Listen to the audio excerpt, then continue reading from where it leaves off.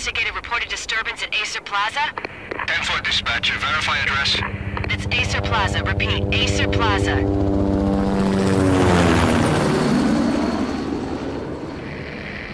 Shots fired on the rooftop. An assault in progress at Aesir Plaza. Repeat, an assault in progress.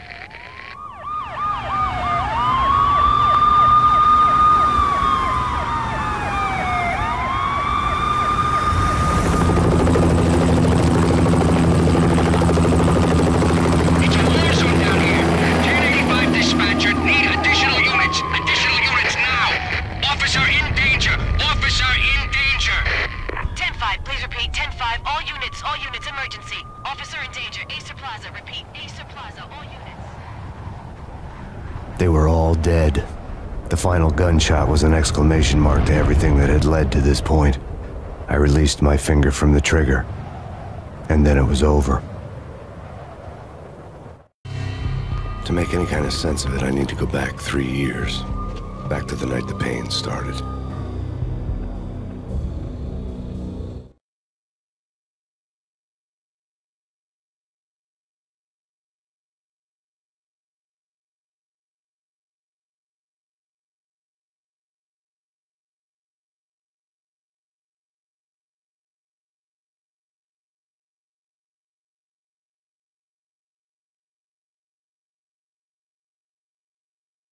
Was still on the force back then. NYPD, Manhattan, Midtown North Precinct, Hell's Kitchen.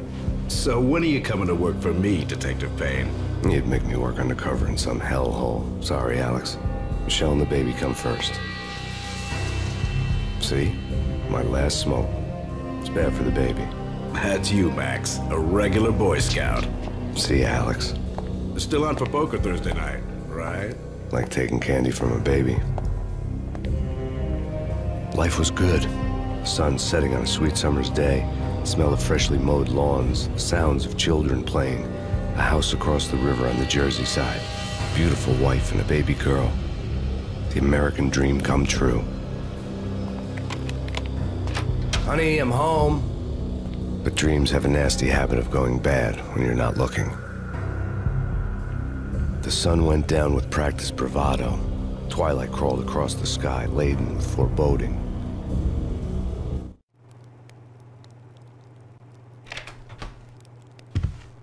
Michelle, honey, anybody home? I didn't like the way the show started. They'd give me the best seat in the house, front row center. Something ugly had been tattooed on the wall, a map of things to come.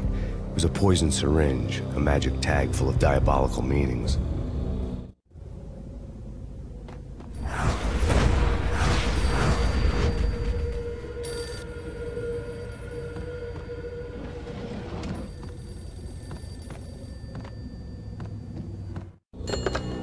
Listen, someone's broken into my house. Call 911. Is this the Payne residence? Yes, someone's broken into my house. They're still here. You have to. Good.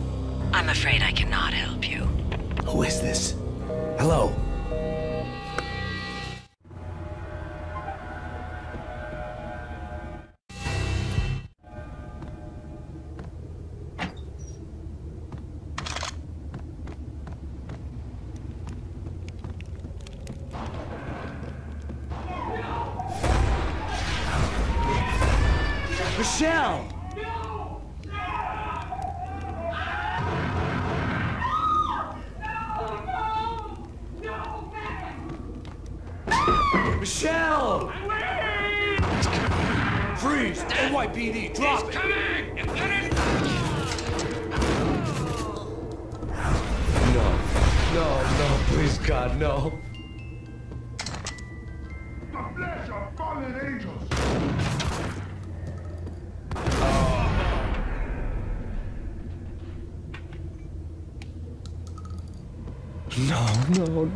God, no, please, Michelle. Oh, baby.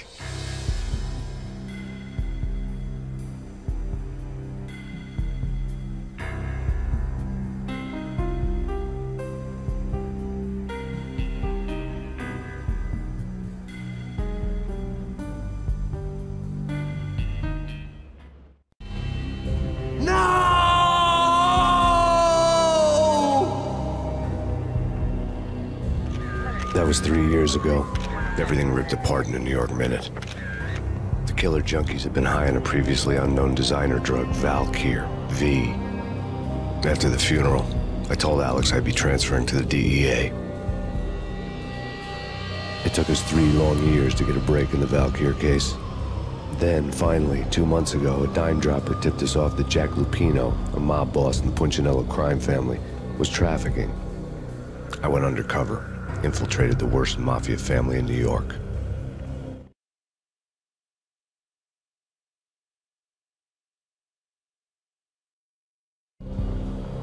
I came in from the cold and the dark. Outside the city was a cruel monster. I've been slowly working my way from the small time to the big fish, trying to get to the source of the drug. Alex and BB were my only contacts in the DEA, the only ones in this decrepit city who knew I was down here. BB here. Something urgent has come up with Jack Lupino. You need to meet with Alex immediately at the Roscoe Street station. I hadn't had a face-to-face with Alex since I'd gone undercover. Outside, the mercury was falling fast. It was colder than the devil's heart, raining ice pitchforks as if the heavens were ready to fall. Everyone was running for shelter like there was no tomorrow. It didn't get any better when I got to the subway. The feeling hit me like a point-blank shot straight in the face. Something was not right about this. My Beretta stirred nervously under my coat, but the train doors had already shut behind me, and I was in for the ride. Next stop, Roscoe Street Station, and Alex.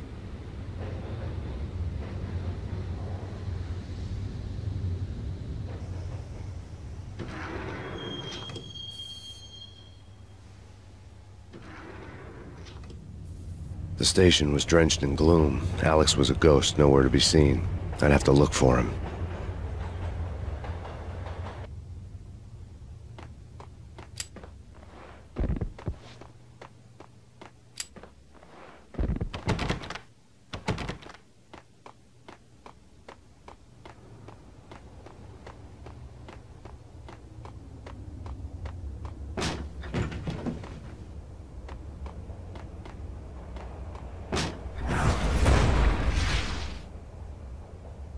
Death was in the air at Roscoe Street.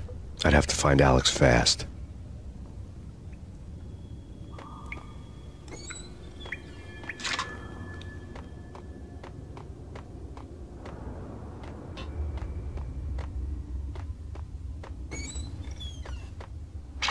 The pills would hold the pain back for a while.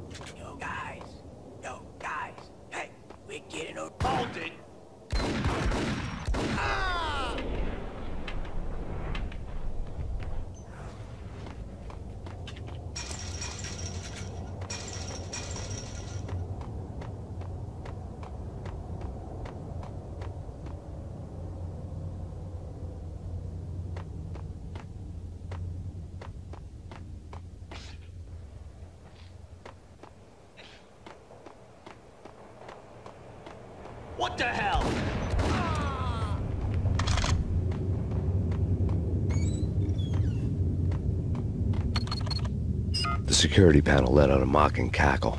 I'd need the right code.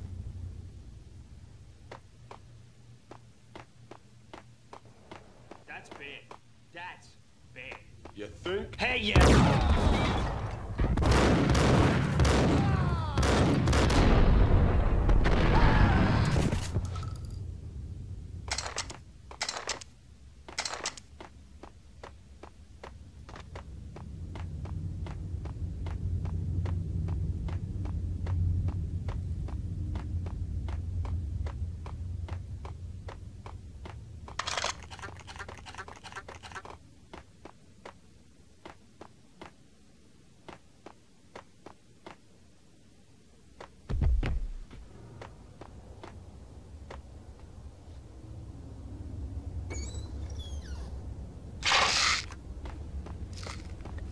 While looking for Alex, I had ended up in the middle of a big-time crime operation.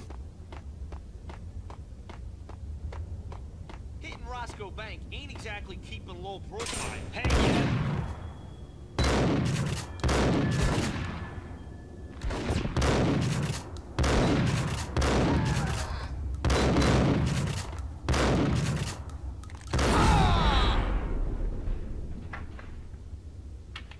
The gate was locked.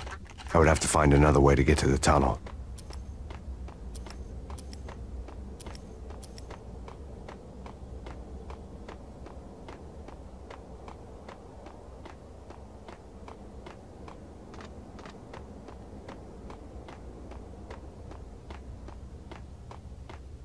Kiss it goodbye.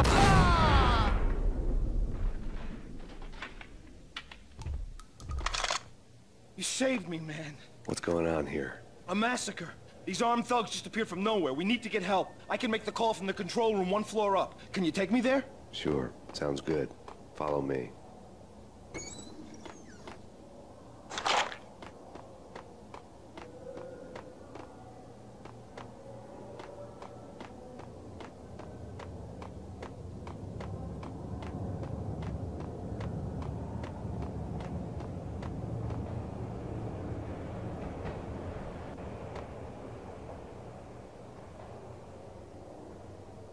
Home free. This way.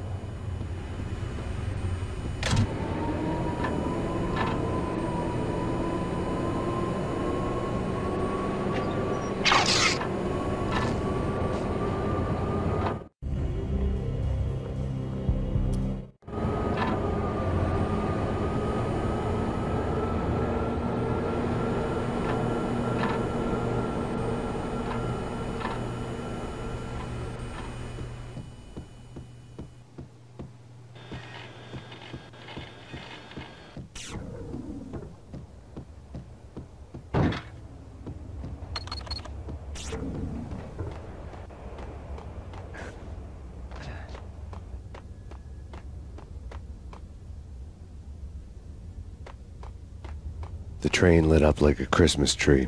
The power was back on.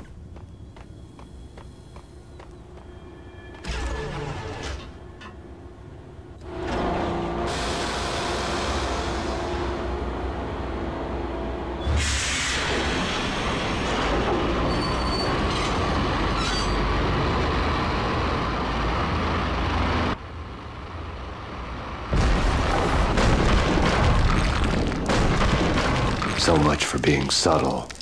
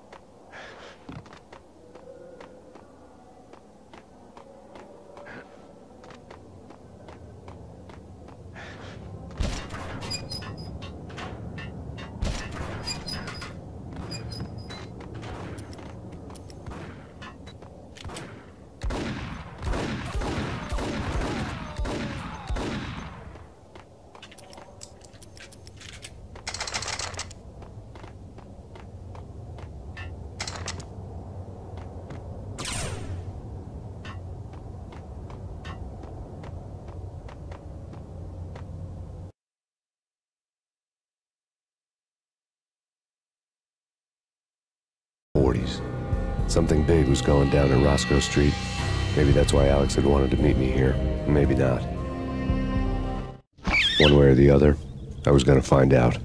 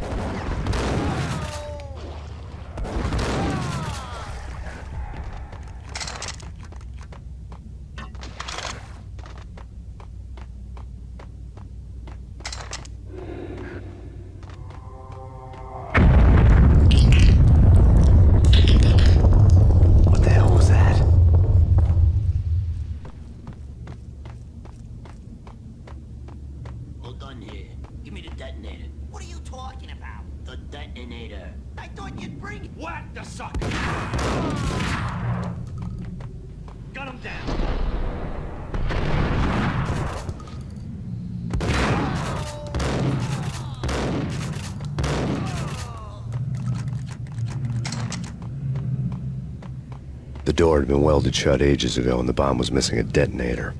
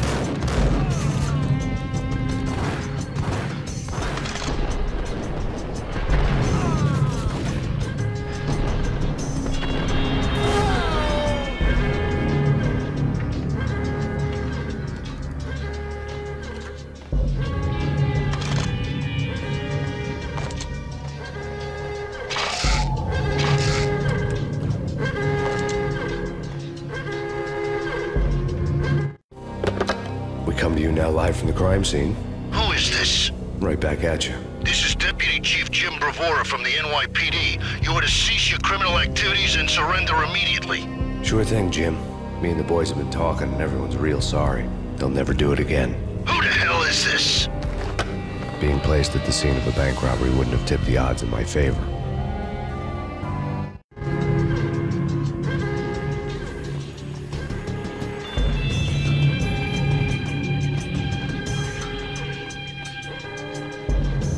The bank robber's score lay on the table. The bank robbers have been after Aesir Corporation bonds. Aesir success story had recently been on every channel and on the cover of every magazine.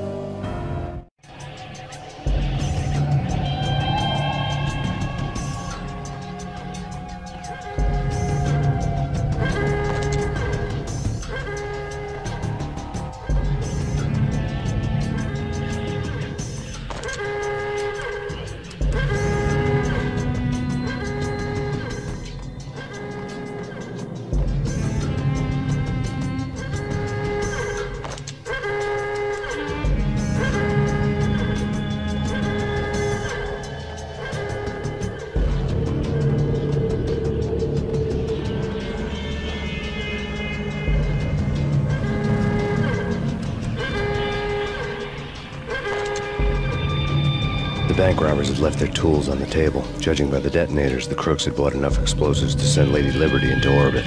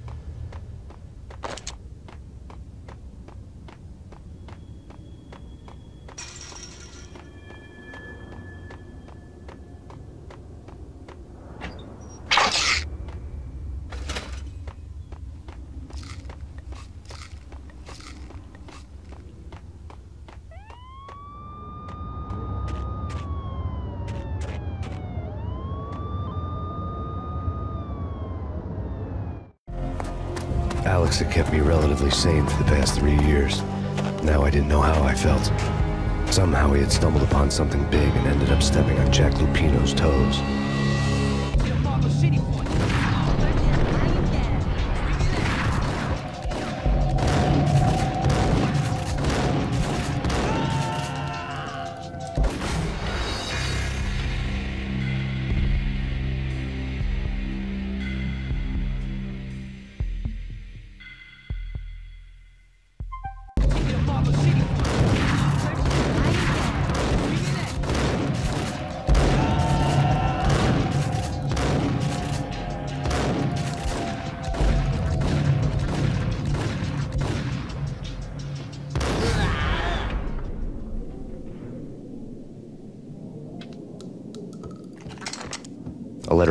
caught my. I had met Lupino only once. The gangster ran all his rackets through his right hand man, Vinny Gognitti. Gognitti was a high strung whiner on the verge of breaking apart, like an overamped Energizer bunny. He had the brains to run the business, but he lacked the balls, always falling short, taking his frustration out on underage addicts and call girls. The V deal goes down at your hotel. Jack's exact words, quote, Vinny, you're in charge of this one, unquote. Rico Muerte's coming to see it through. Anything goes wrong and everybody's gonna get dead. Goes double for you. Treat this guy real good. Anything he wants, you give him. Don't screw this up or you're finito, finitos. A V deal meant added security, locked doors, and lots of nervous thugs with itchy trigger fingers. I'd seen nothing coming in, but that didn't mean it hadn't been there. Rico Muerte was a regular Keyser Söze, a spook story told to keep the apes in line. 313. The Finitos had scribbled Muerte's room number on the note's margin.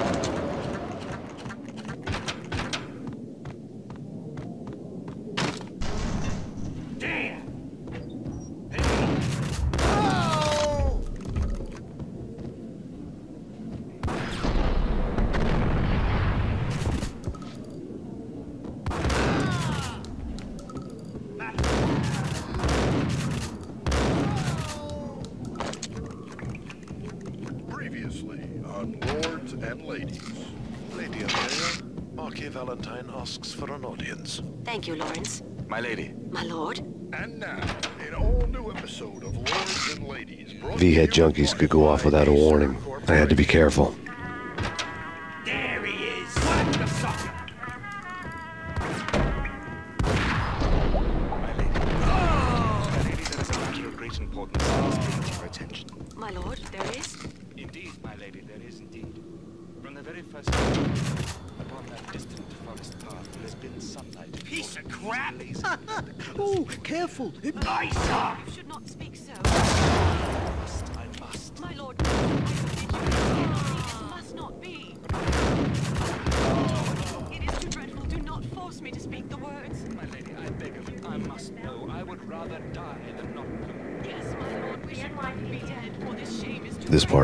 For a while.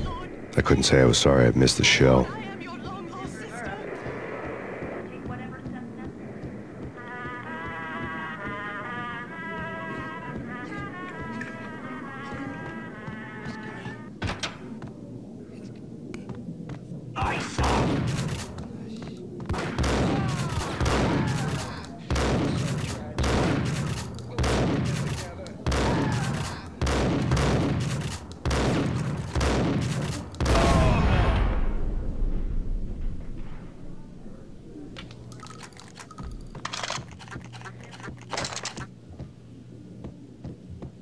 Found Muerte's room. Muerte had received a letter.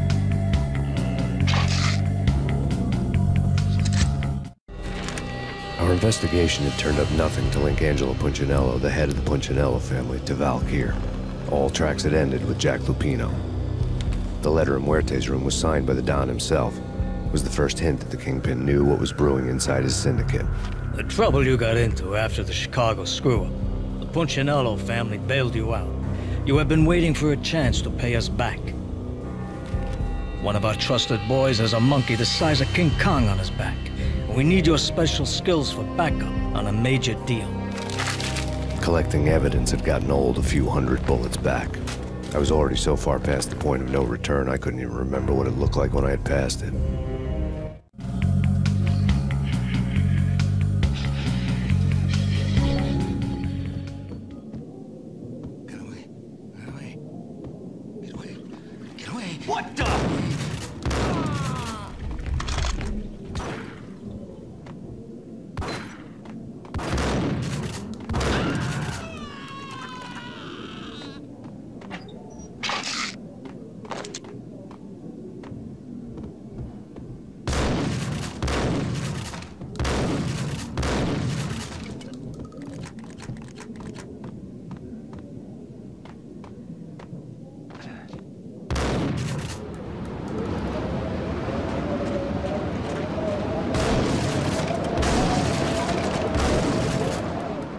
Want to know what had happened here. It was not a pretty sight.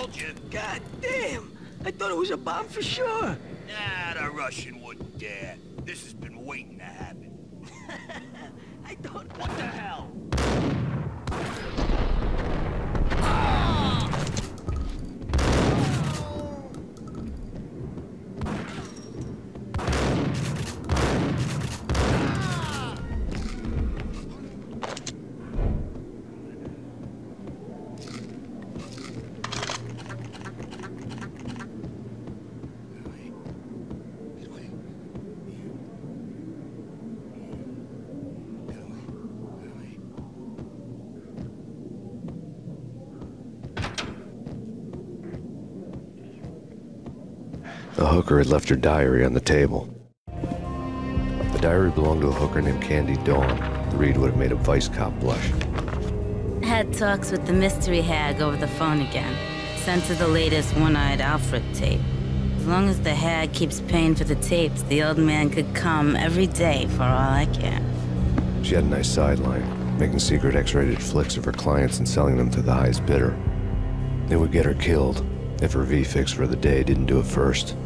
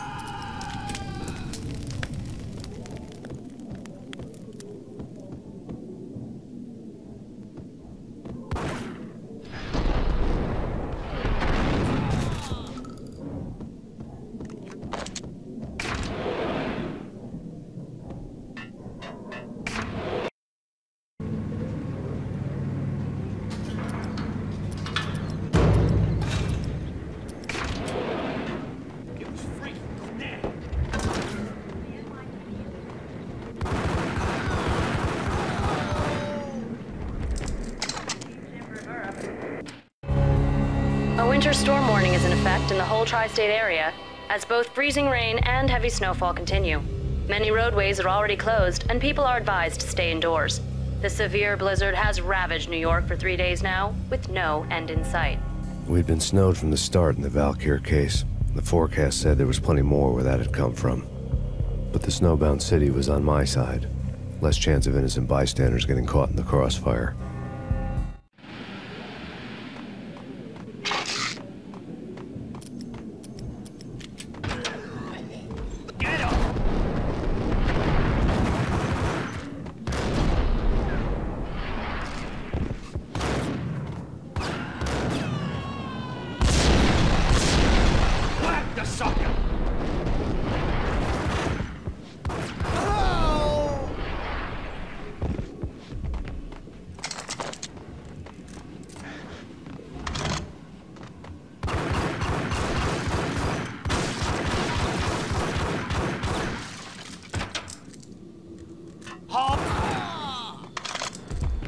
Exhibit number one, a newspaper.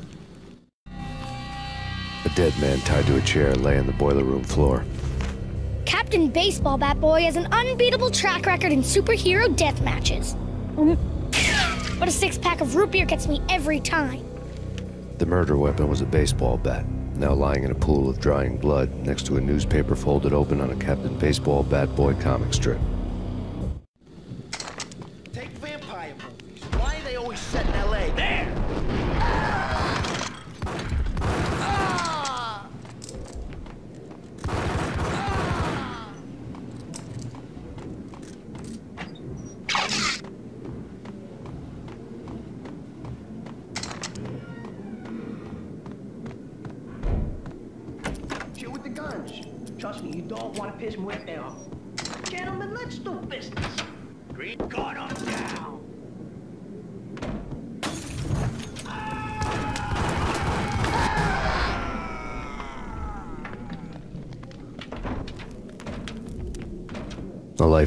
This would have gone down as a narcotics arrest.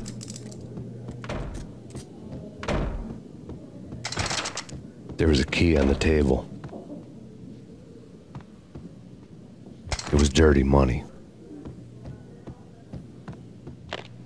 The transparent cylinders glowed green, full of Valkyr.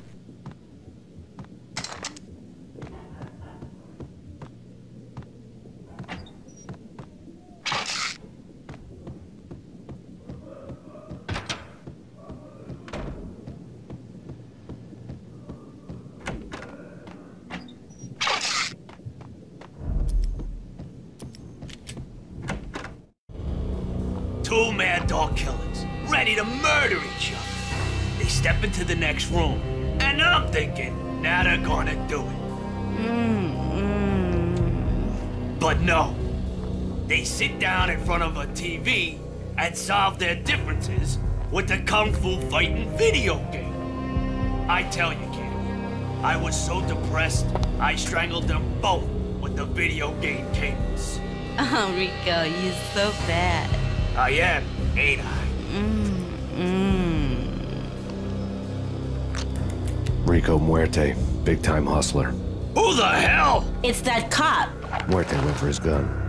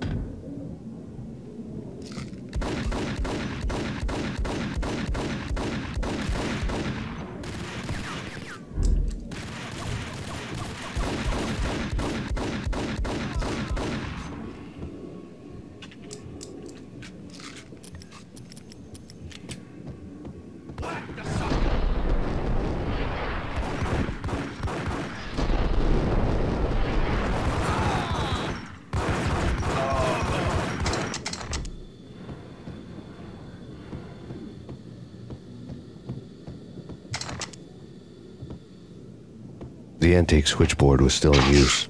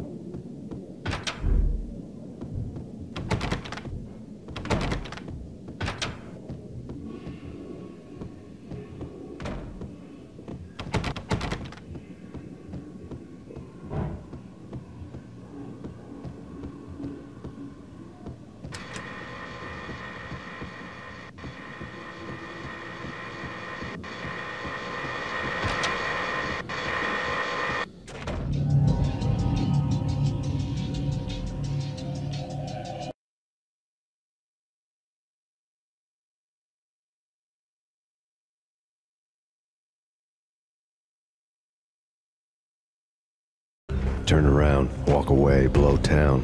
That would have been the smart thing to do. Guess I wasn't that smart. Lupino's tenement buildings were a seedy hangout for all kinds of sleaze. A liquor store, a pawn shop, a laundromat full of mobster bookies and loan sharks. The list went on. The how and why of it was a mystery to me, but they knew I was a cop. They knew I was coming, and they were going to get real trigger happy about it. I got to see Lupino's hangout all lit up. Bomb went off, turning snow into liquid gold. A pillar of fire lifted the remains of a car straight up into the air. The flames were highlighted on the hood of a black Mercedes-Benz as it coasted down the street real slow, as if the driver didn't have a worry in the world. I got a good look at the man riding shotgun. It was Vladimir, the head of the local Russian mob, the fly in Don Punchinello's suit. The ringing in my ears was the sound of a mob war being waged.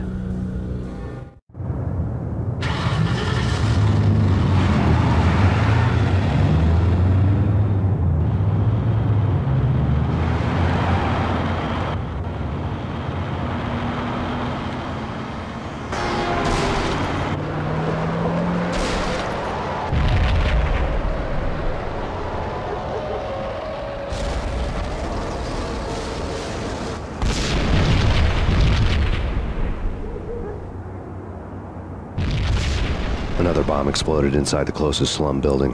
It was a lucky break. The goons inside were spooked, but luck always came with a price tag. More bombs could still be ticking inside, and the cops would already be on their way. Jack Lupino's suite was on the top floor. At least it used to be, before the explosive makeover.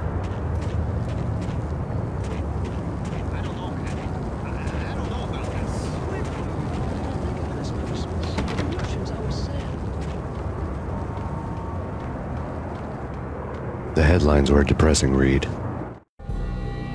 The headlines were screaming bloody murder. The storm was a screaming duet with the approaching prowl car sirens. It was all a scream when you were down for the count and wanted for murder.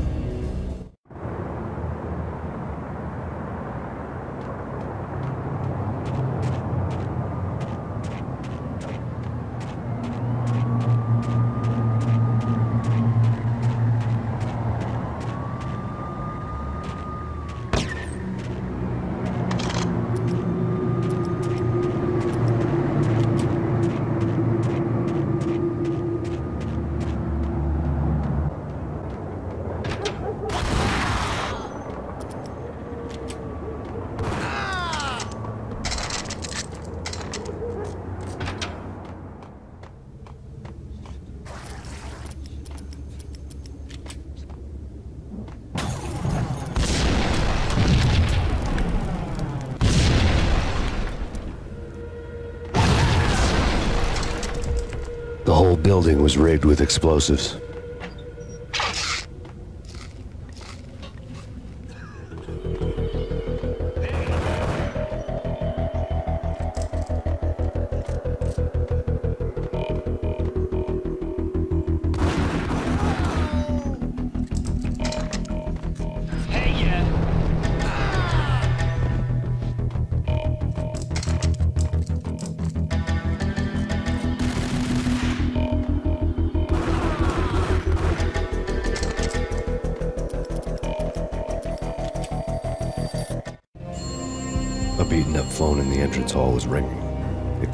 Junkie in need of a fix, but it turned out to be something more sinister than that. Am I speaking to Mr. Payne? Who wants to know? My name is Alfred Woden. You must hurry. The police are on their way. Tell me something I don't know. They know you're there. How? And what's it to you? I will contact you again. The cops arrived, sirens singing in the off-key harmony of a manic depressive choir. I had a few minutes while the SWAT team would go through their usual routine. By the time they busted in, I needed to be long gone.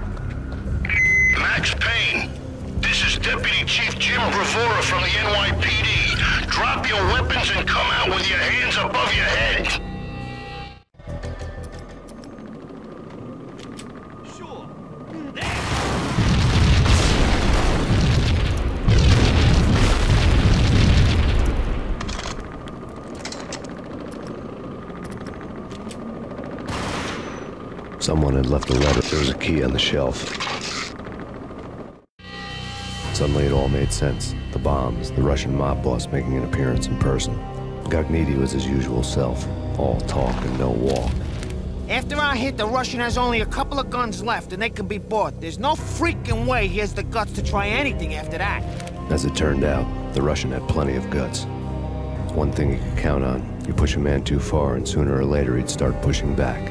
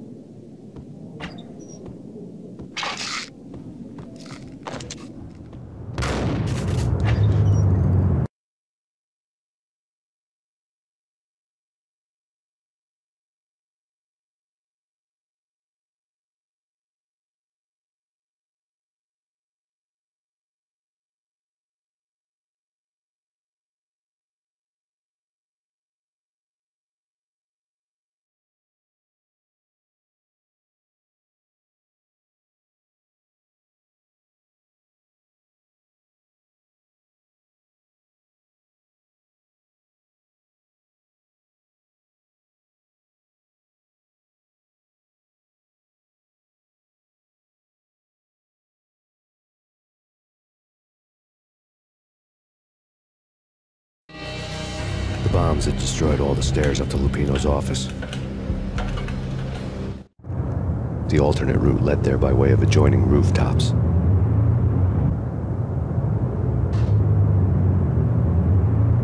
It's never been this cold. Never ever. It's like the sky's Yes, sir. It's the world as we know. And I don't feel fine. To get to the roof, I'd need to get to the elevator through the locked door up ahead.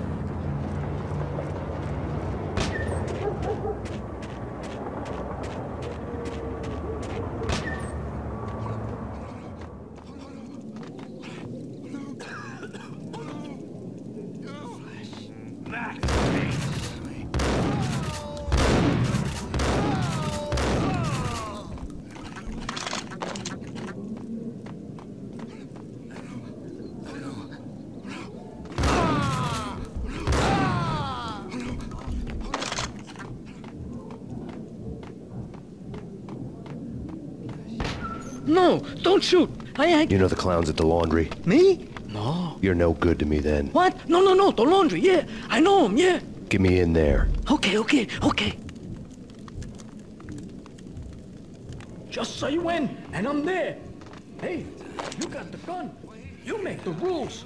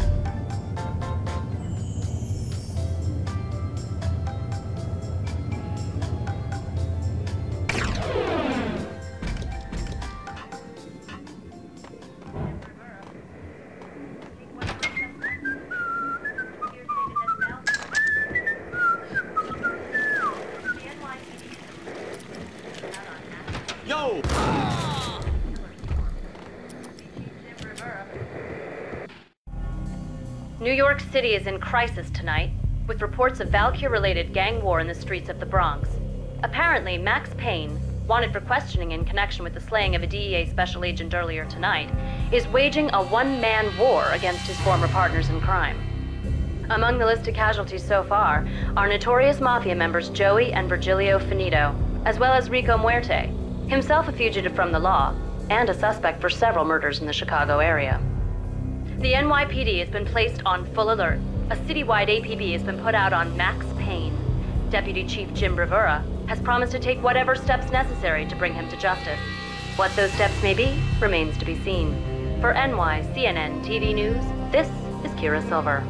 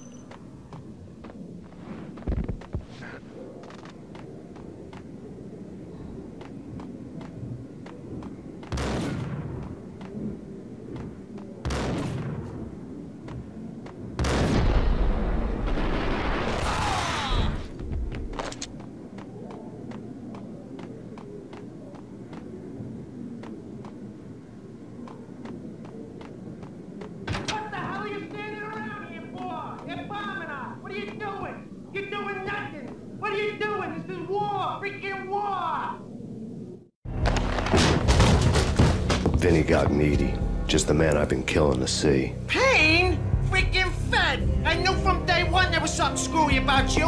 What do you think you're doing? You're a freaking cop. You ain't got squad on us. You can't just come in here waving your piece like it meant something. Yeah! Oh my god! Oh god, you shot me! Ah! You're dead, Payne! What the hell are you waiting for, you apes? Kill him! Kill him! With pleasure, boss. Gognitti bailed. I made like Chow Yun Fat.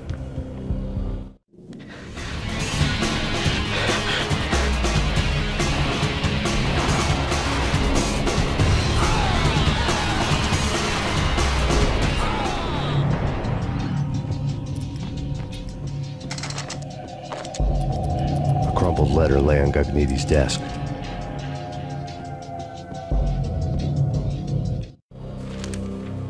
Addressed to Don Punchinello, but Vinny had never had the nerve to finish it. Jack's gone voodoo. Just the other night, he shot Dino because he wanted to see what his brains looked like splattered on the wall. He's a freaking mad dog. We're running out of men and business fast. Gognitti had been living in mortal fear of his boss. Jack Lupino was a psycho.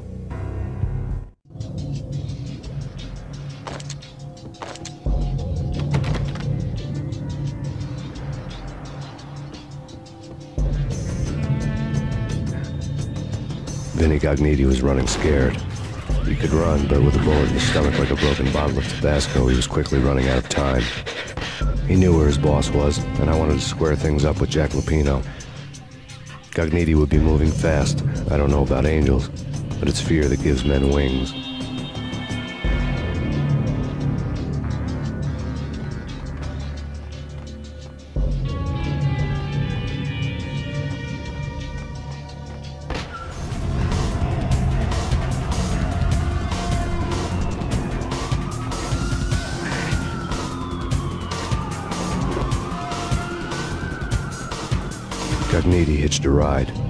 Catch I'd have to follow his lead.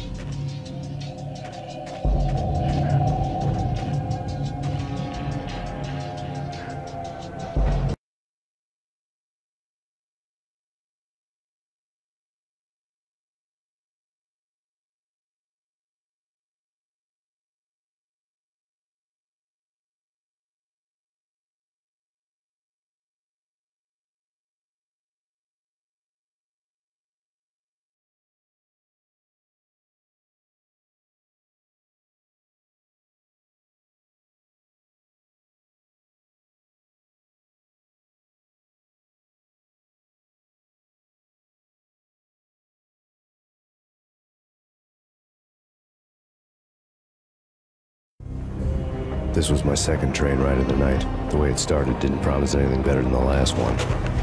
Freezing wind tearing at my face like sandpaper and razors, ice hard and slick under my hands and feet. Somewhere in the background, the wail of sirens, the city howling after me. New York sped by in fast forward. Dark rooftop water towers and a dead forest of antennas and chimneys, all a blur. When the train he was riding slowed down, Gognitti made his move.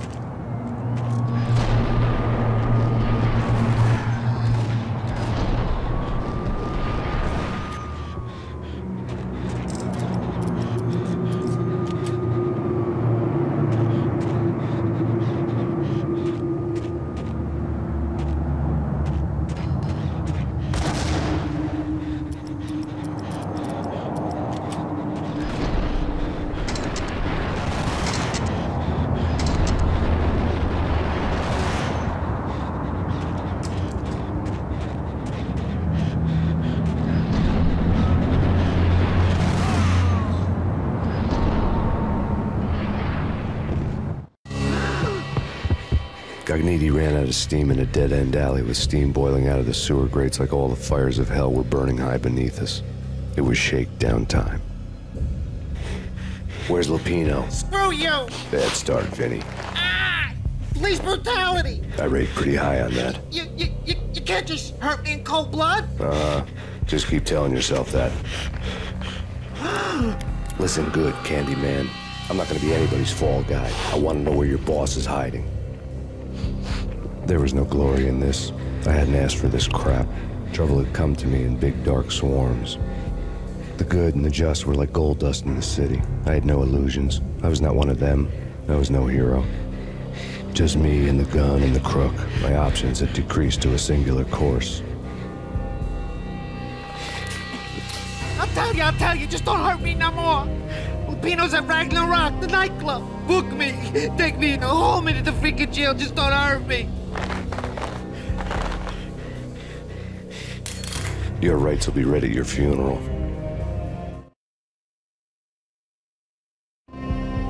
Ragnarok was Lupino's private nightclub, a den of drugs built into an old theater. I knew what waited inside.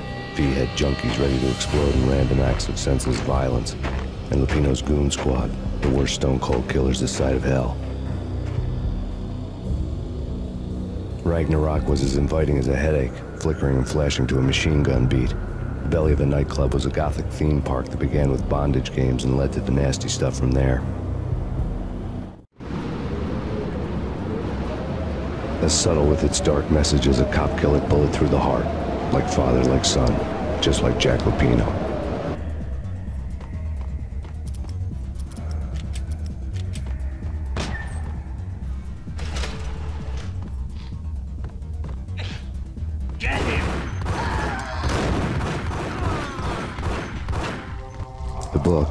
Bestseller.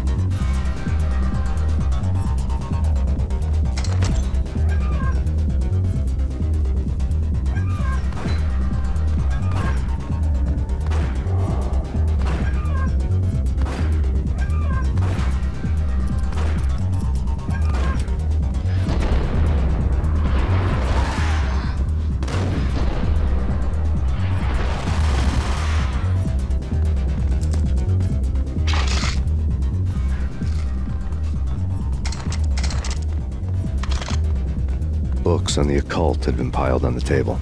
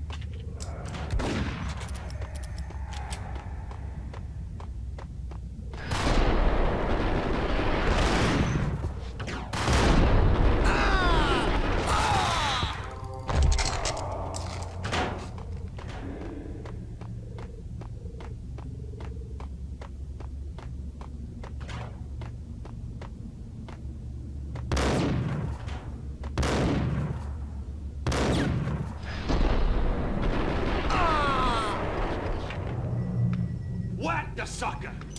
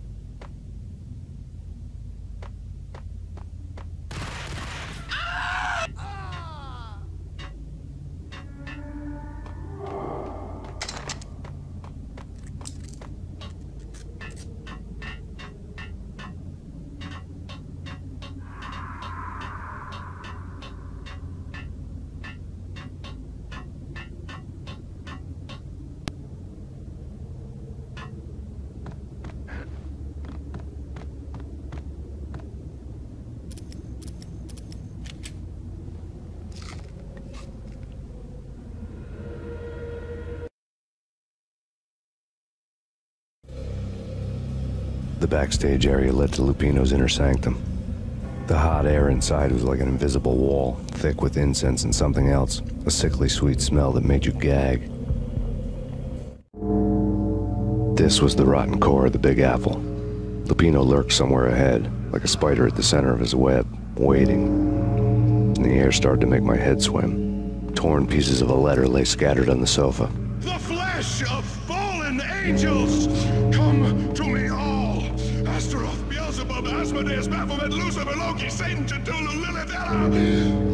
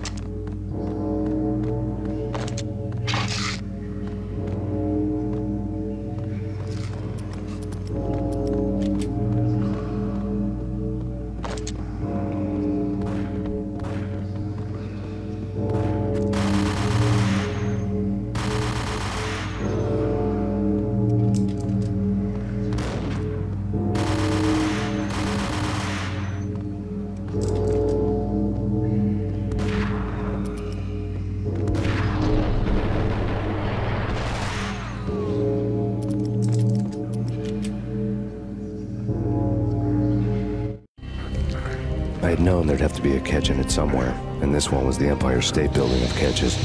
Lupino was pumped up and dying to go 15 rounds with a mutant alligator. And then he started this spooky monkey talk, straight from a bad dream. Mine.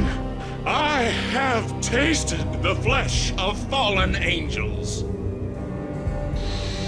I've tasted the devil's green blood. It runs in my veins. I've seen beyond the world of skin, the architecture of blood and bow and arrow. Death is coming! She is coming, and hell follows with her. This is the twilight winter. I am ready to be her son.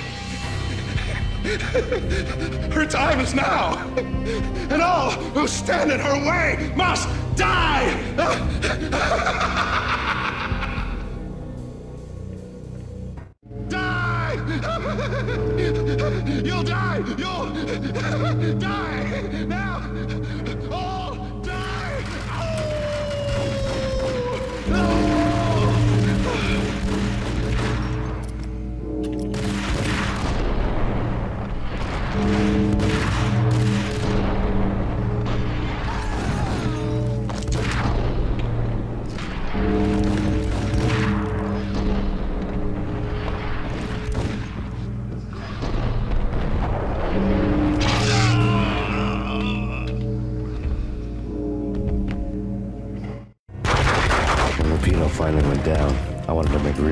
stay that way.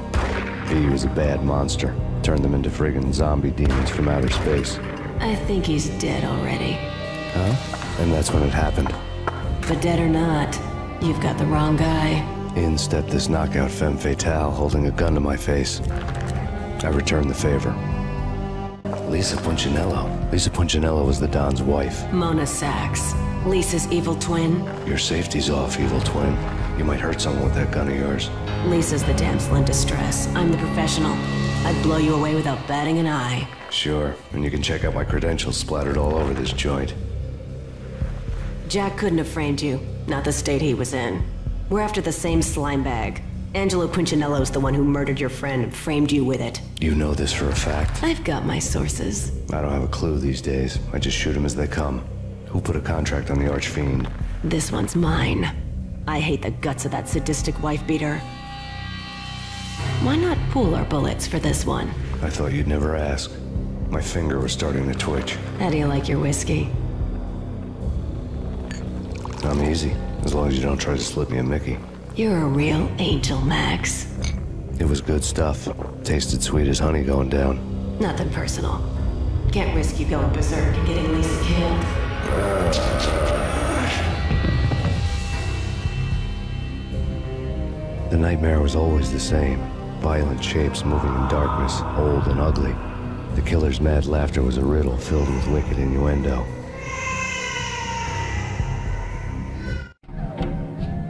Somewhere, the baby was crying.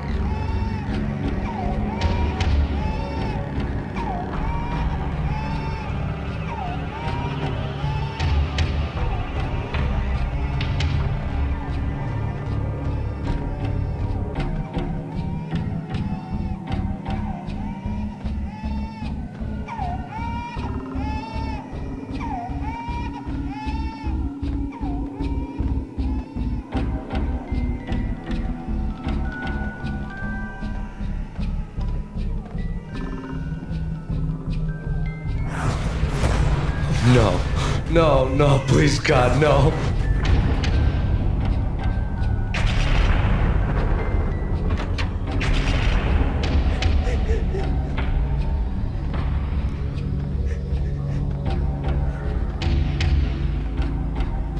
Slice him, dice him, shoot full of holes, blow him to bits, vaporize them, disintegrate them. No matter what you do, they'll still be back good as new.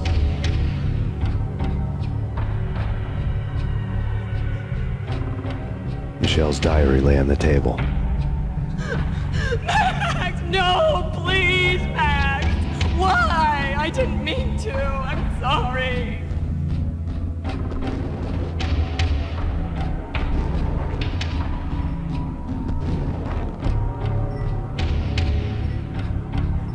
Murderer! You killed her! Nothing like that ever happens in the real world.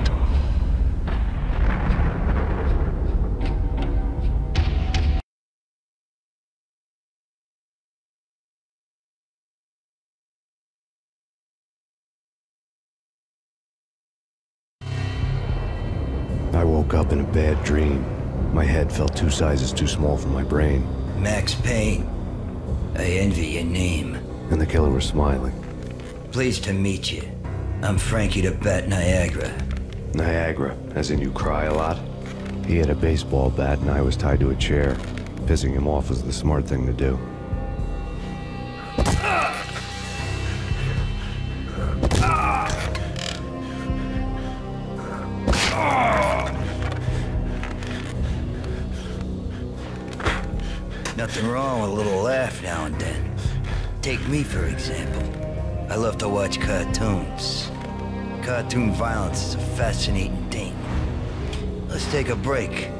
I need to take a leak and maybe grab a cold one at the bar. Don't worry. I'll be back to finish this off. And then, it's checkout time. You play, you pay, you bastard. He swaggered out, and the door clanged shut behind him, locks clicking into place. Everyone makes mistakes. Mine hadn't been to crack jokes about the goon with the bat. He'd have cracked my skull regardless. It hadn't even been to trust a girl with a gun. I had blindly gone after the first bad guy on my hit list when I should have been aiming further up the ladder, at the head of the Punchinello family. I couldn't bring myself to be pissed at Mona. Guess I had a soft spot for her pretty face.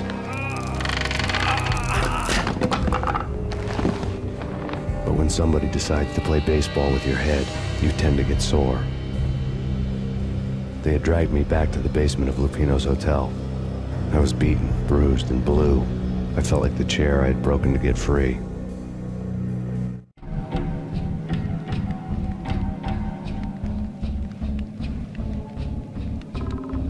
All I had was Niagara's bat, sticky with my own blood.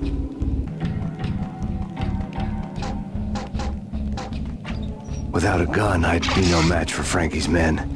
I'd have to play hide and seek with them.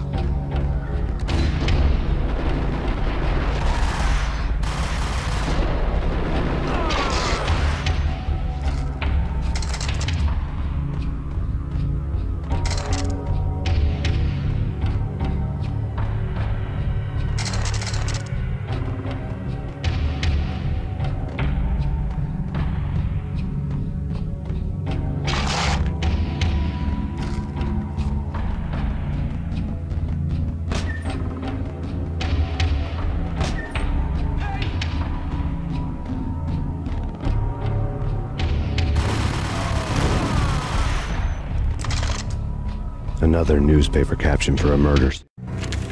Frankie had left his calling card, a Captain Baseball Bat Boy strip, next to a sewer passage filled with bodies. You'd better not mess with Captain Baseball Bat Boy. Even my archenemy, Bicycle Helmet Girl, swoons at the sight of me. Aha! There were enough corpses to put a mass murderer to shame.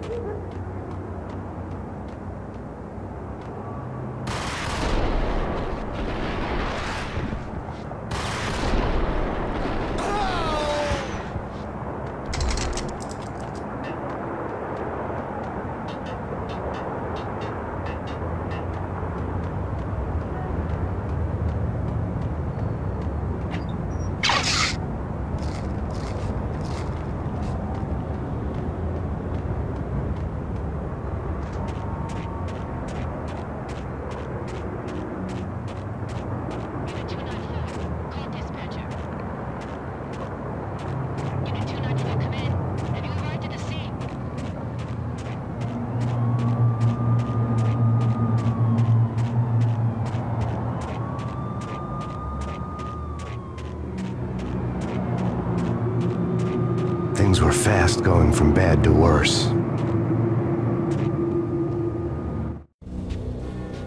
The men in blue had come and gone. They had decorated the place with chalk outlines and tied it together with yellow tape. The cops who had stayed behind were dead. Frankie, his boys, and I had the place all for ourselves.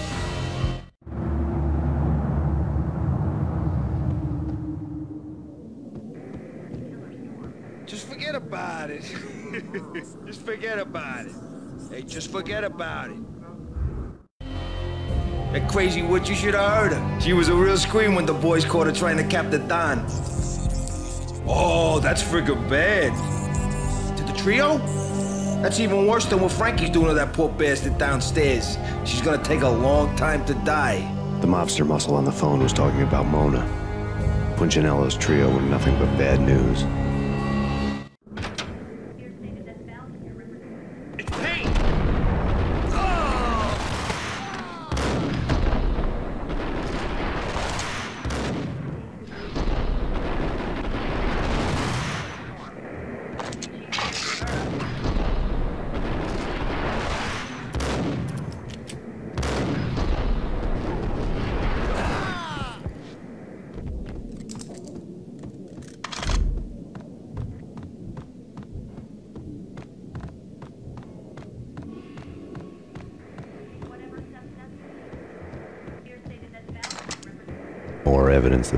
Didn't like me. The fact remains that all the victims so far identified in the Ragnarok shooting have been known criminals, many of whom had large doses of V in their blood.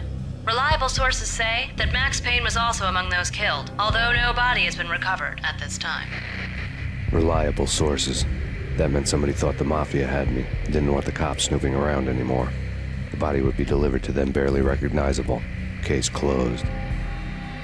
Don Punchinello had the power to be that reliable source, which was no news. But his news was old news. Framing me hadn't been enough. Don Punchinello had put a hit on me. He wanted me dead, and it had been important enough for him to give written instructions to Frankie about it. Max Payne should die like a dog for the trouble he's caused. Frankie, I know I can trust you to give this matter the dedication it needs.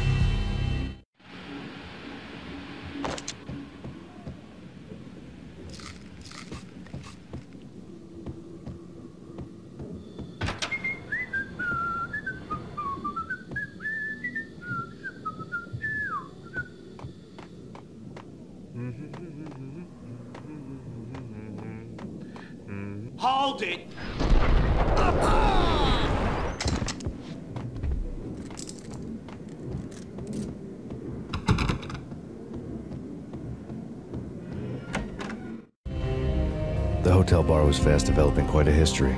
True to his words, Frankie was there, having a beer. Jesus Christ. How the hell did you get loose? Got bored waiting. Thought, what the hell, we could just as well finish this here.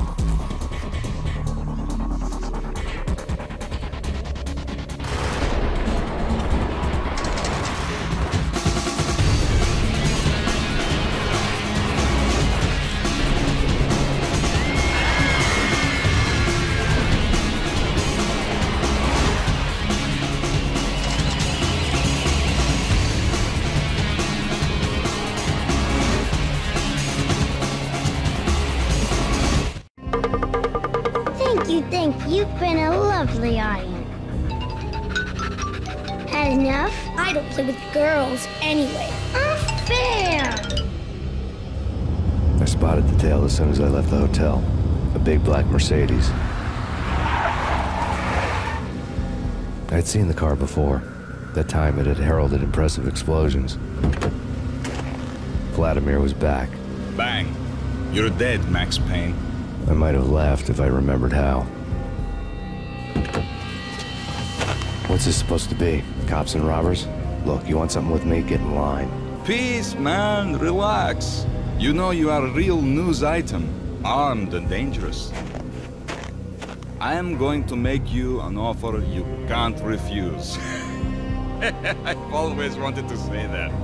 It's a bum rap. I've been framed. That's a moot point. Whatever you did or did not do, I'm sure you had good reason for doing it. Want to hear me out? I'm listening.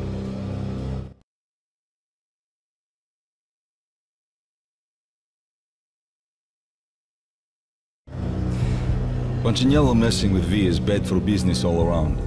But that's not all. There is this guy, Boris Dime, used to pull jobs for me. He's the captain of the cargo ship Charon. Now the bastard turncoat has gone over to the other side, Punchinello's. The ship's loaded with high-res hardware, guns, my business. If Punchinello gets hold of that cargo, he's won and I have lost. And you'll have your work cut out for you. If you want to get to Punchinello, you'll need heavy-duty persuaders. I am just the man to get them for you. Change the ship back under my flag, maybe pop two in the Traitor Dime's head while you're at it. You'll get enough guns to start the apocalypse. You in or out? Let's get this show on the road. Vladimir was one of those old-time bad guys with honor and morals, which made him almost one of the good guys. None of us was a saint. The Brooklyn riverfront was a maze of rusty containers, sharp-boned cranes looming up from the snowstorm. On a night like this, you couldn't help but think of the dark army of dead men sleeping with the fishes, cement shoes in line. No Minotaur lurked in this labyrinth, but somewhere out there, on the clanking deck of his cargo freighter, the skipper of the Charon was waiting, like the ferryman of the river Styx.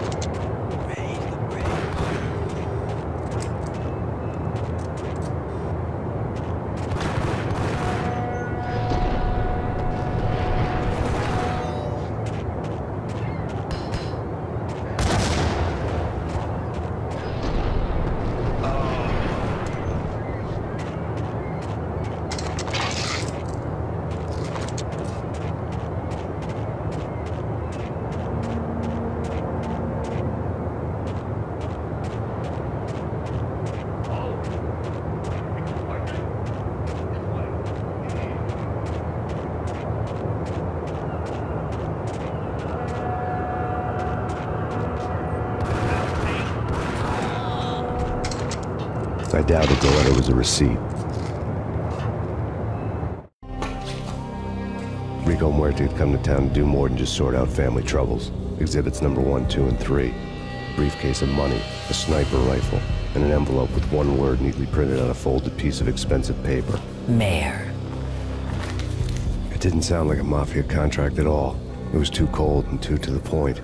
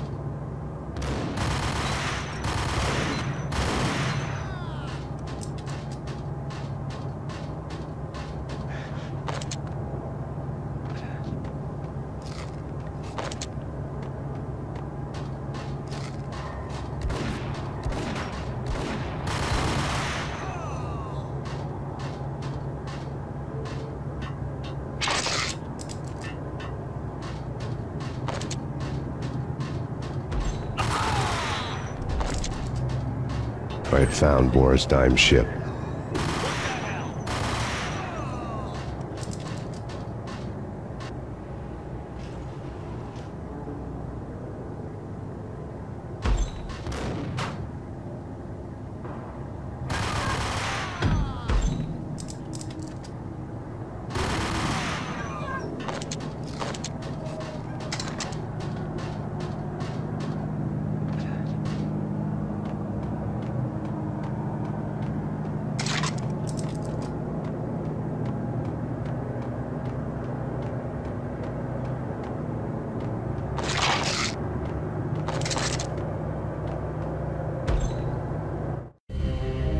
Had crept over the side of the cargo steamer a long time ago.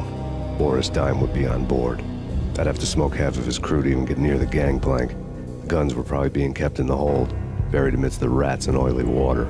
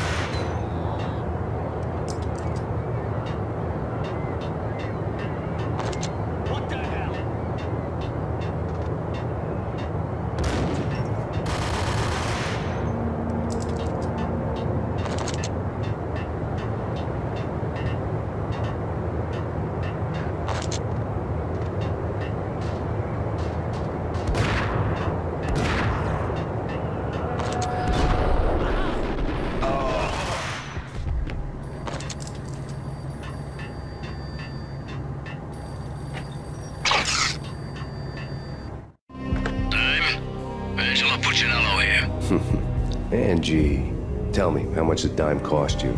I bet it was more than his name. Max Payne. Right the first time. You're dead, punk. You sure you're not confusing me with Boris here? But you are right, of course. Pretty soon we should get together and have a talk. You son of a... Pissing Punchinello off was a dangerous game, but when people get mad, they make mistakes. I should know.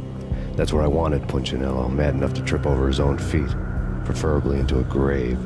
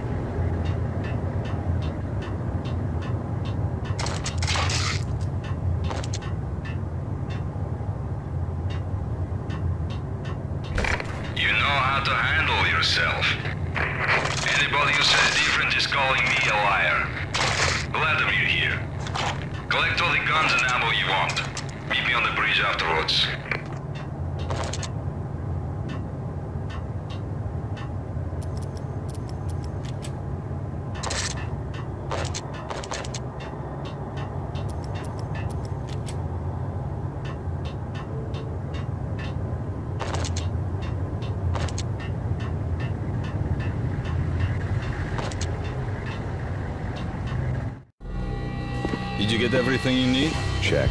I owe you. Anything you need. This is my solo.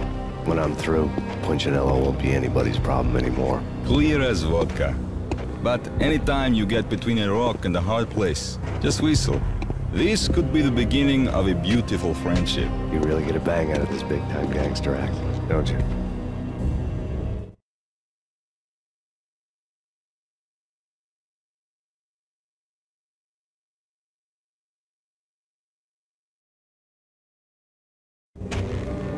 All this firepower, I figured I couldn't get to Punchinello at his manor. I could only hope that he wouldn't pass a chance to hear me beg, to see he's won. This is Max Payne. I want to cut a deal. Payne, you're a dead man. That's what everybody keeps telling me. I got your ship and her cargo. I want to meet. No pain, no gain. Capiche? You know my restaurant? Yeah, I know it. One Punchinello's restaurant had seen better days. Snow was falling like ashes from post-apocalyptic skies, but that was outside. Things would soon get hot in the Don's restaurant. I knew it was a long shot, Angelo Punchinello actually showing up, but there was no crime in hoping.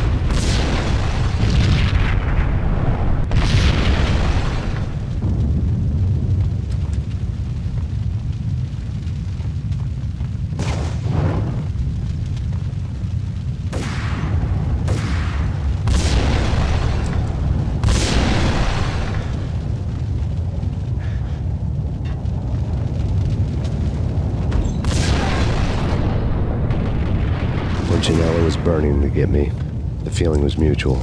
He was trying to put out my flames with gasoline.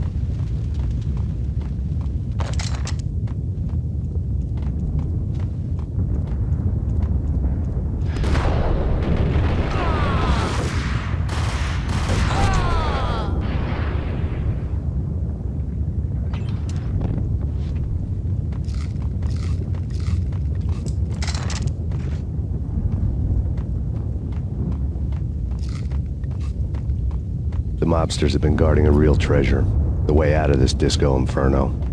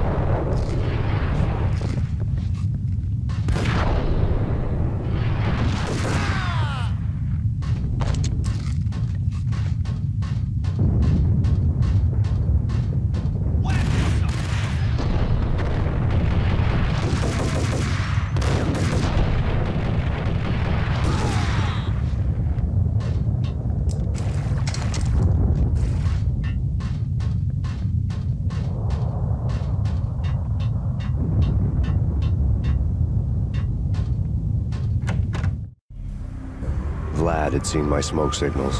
The Mercedes was revving to go, almost drowning out the Banshee well of the sirens. You coming? We'll drop you off at the Punchinello Manor. Sounds good to me. When this is over, look me up.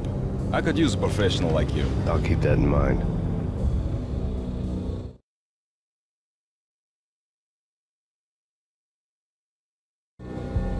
The night groaned with cold. The garden lights flickered nervously. In their light, the falling snow was dead white before the darkness ate it up. I had heard the stories. The trio were mad dogs. They'd have hung the heads of their enemies over the manor gates if the capo had only let them. Punchinello wanted pain, he'd see the pain. The trick in my situation was that there was no trick, no matter what the movies tell you. No rules, no secret mantra, no roadmap. It wasn't about how smart or how good you were. It was chaos and luck, and anyone who thought different was a fool. All you could do was to hang on madly, as long and as hard as you could. Someone had graciously left the back door open for me and killed the guards. My money was on Mona. I knew the trio would be standing between me and Punchinello. I had read their rap sheets, thick as phone books. No one would be walking out of here alive. The numbing cold of the broken night had followed me in. Upstairs, the trio tangoed down the manor halls to the silent rhythm of their murderous hearts. The blood of their victims rust on their lips. Vince Mugnano, Pilot Providence, aka Big Brother, and Joe Deadpan Salem. The pistol was a frozen lump in my hand, piercing the skin, gnawing me to the bone.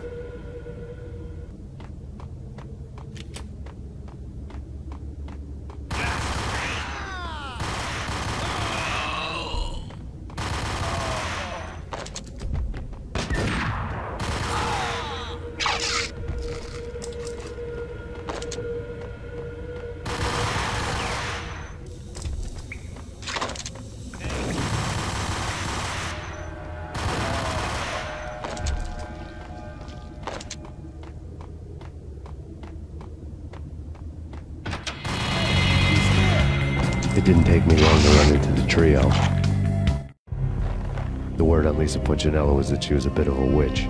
The tarot cards on the kitchen table fit the picture. They weren't my kind of cards, but I was willing to take a crack at the hand Mrs. Punchinello had dealt. The first card was the tower. Maybe that was supposed to be the manor. It got easy after that. The devil was the master of the house, and death was me, coming for him.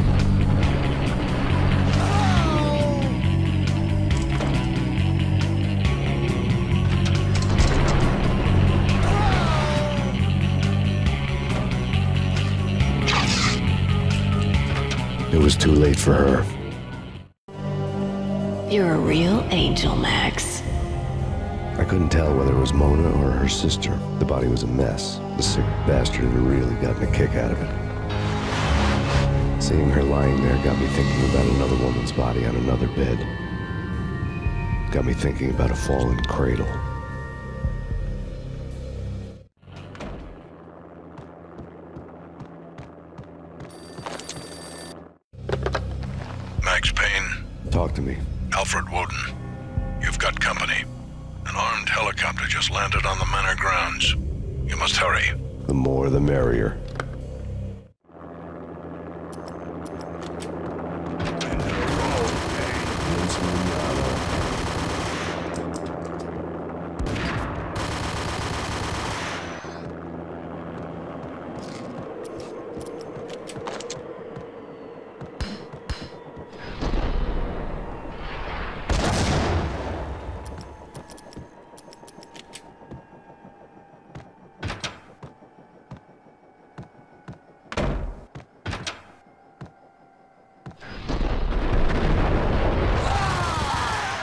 Punchinello's trio was done for.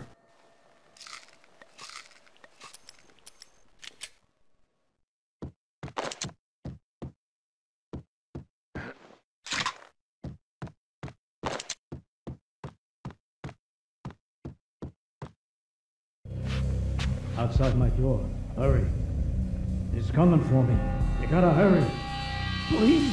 I could hear Punchinello on the phone begging for help. Should have been saying his goodbyes. Punchinello was a pushover. The moment I stepped into the room, he folded like a deuce before a royal flush. No, wait. I was just doing what I was told. I couldn't refuse. She's someone high up. Government, maybe. I don't know. He was trying to buy more sand for his hourglass. I wasn't selling any.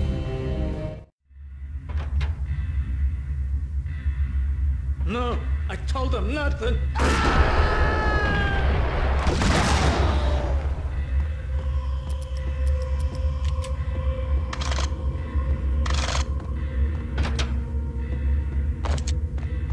Drop it. Don't move. Game over, Max Payne. I could tell when I was outgunned. It was time to take another beating. The mystery witch was a real barracuda. Trouble on dagger heels, a smoking assault rifle in her hand, and an army of killer suits behind her. How sweet. I get to kill two birds with one stone. Sooner or later, it was going to catch up with you. Mr. Payne, it's time to show you the benefits of my brew. Be a good boy now. You'd find that Lady Luck was really a hooker. Ah! You were fresh out of cash.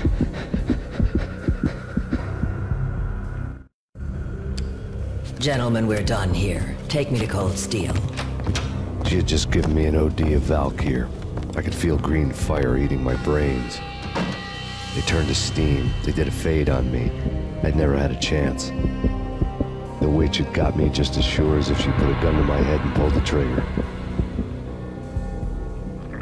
The shadows rushed me, bruised mugshot faces hungry for revenge. They knew my weak spots and closed in for the kill. Floor turned into a vortex of green blood. I fell.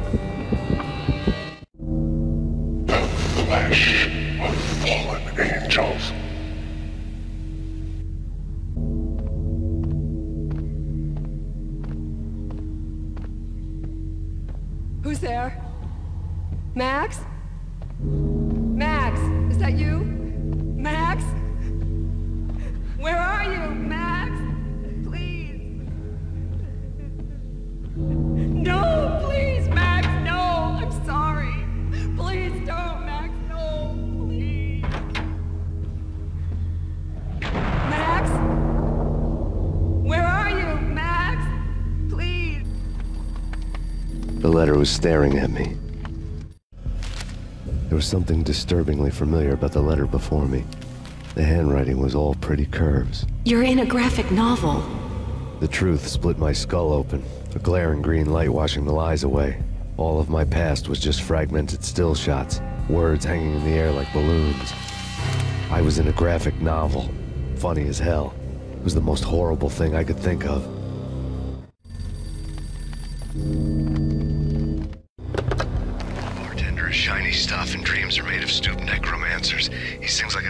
Wrist, having strayed too close to the constellations on their shaved skulls. The There was a bad line in a prank call. Someone spouting insane babble. I couldn't make sense of it.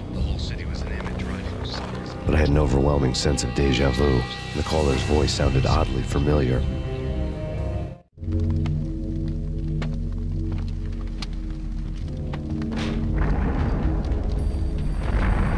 The weird piece of paper looked dangerous. Was something disturbingly familiar about the letter before me. The handwriting was all pretty curves. You're in a computer game, Max.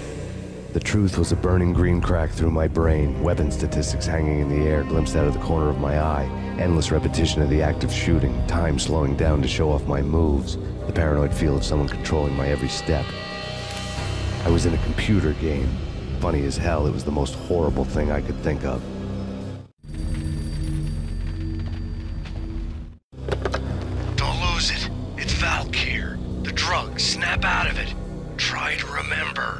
It was a bad line in a prank call, someone spouting insane babble. I couldn't make sense of it. But I had an overwhelming sense of deja vu, and the caller's voice sounded oddly familiar.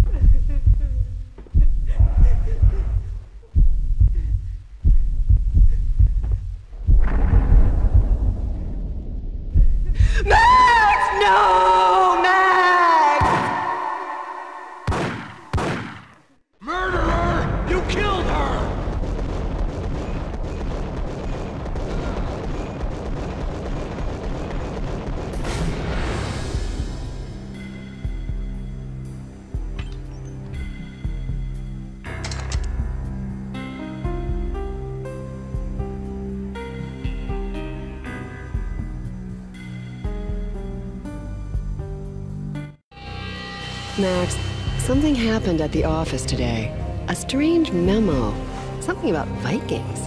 Honey, I gotta run. You can tell me all about it this evening. Have a nice day, darling. The bullet holes were rubies on her chest, blood glowing on her ivory skin. She was so beautiful. The killer was smiling. The flesh of fallen angels.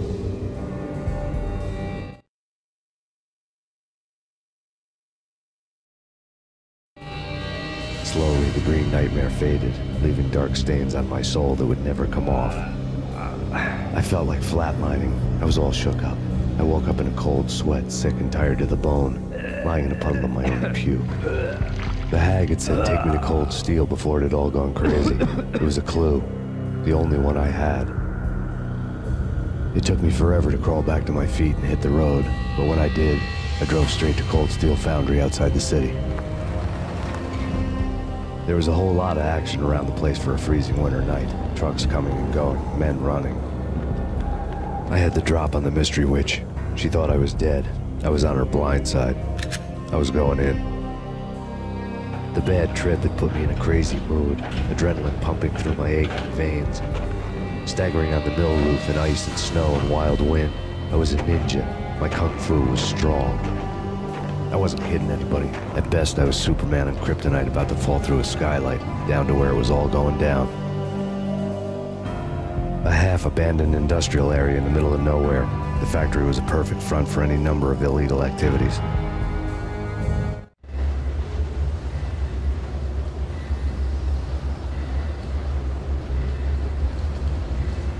In the belly of the plant, molten metal boiled and bubbled like a witch's brew.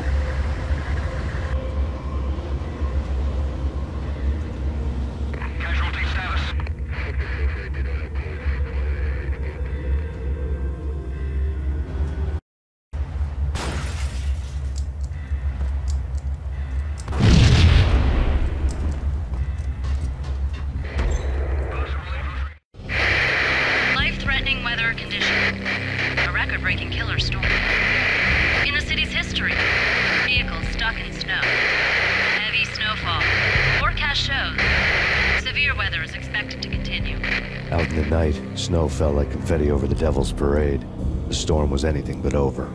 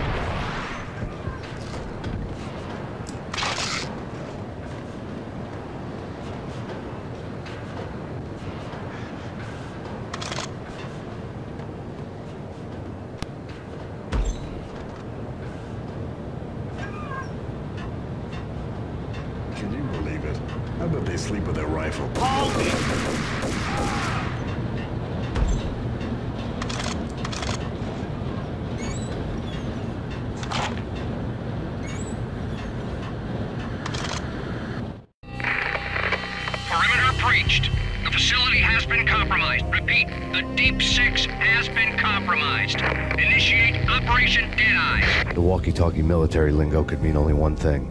They were getting ready to destroy the evidence and vanish into the night. I was so close. The hidden truths were just around the corner.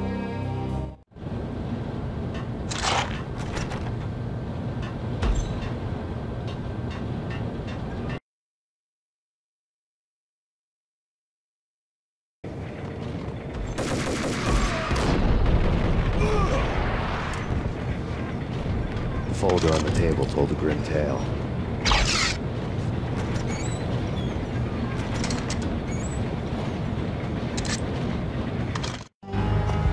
The mercenaries were running a tight operation, paperwork and all. Merchandise missing again. A chemist had tried to smuggle it out for his own private party. Locked him up in cell B7 and D6's old test facility to wait for proper processing. I was close enough to hear the secrets, just beyond the next doorway.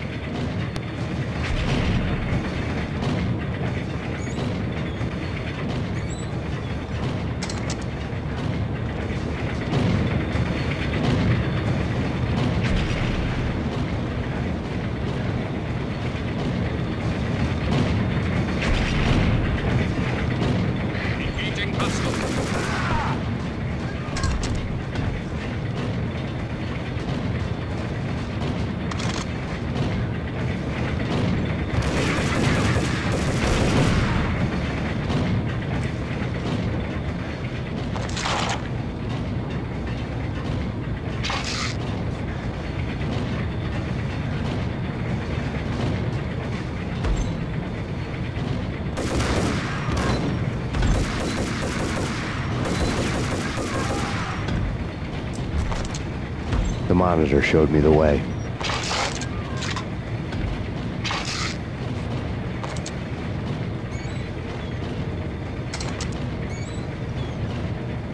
Processing diagrams fill the control room screens, all but one. An elevator titled D6 on one of the screens, somewhere onwards, past rows of ovens, in the core of the plant.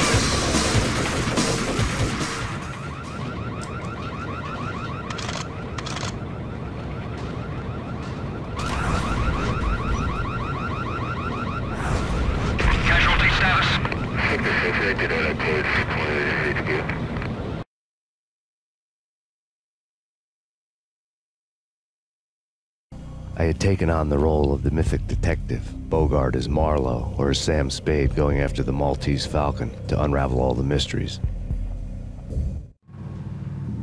Following a path of clues to that final revelation, even if it would take me down to the cold, cavernous depths of a grave. You can't do this! My men are still inside! Do you have any idea why this is called Operation Deadeyes? I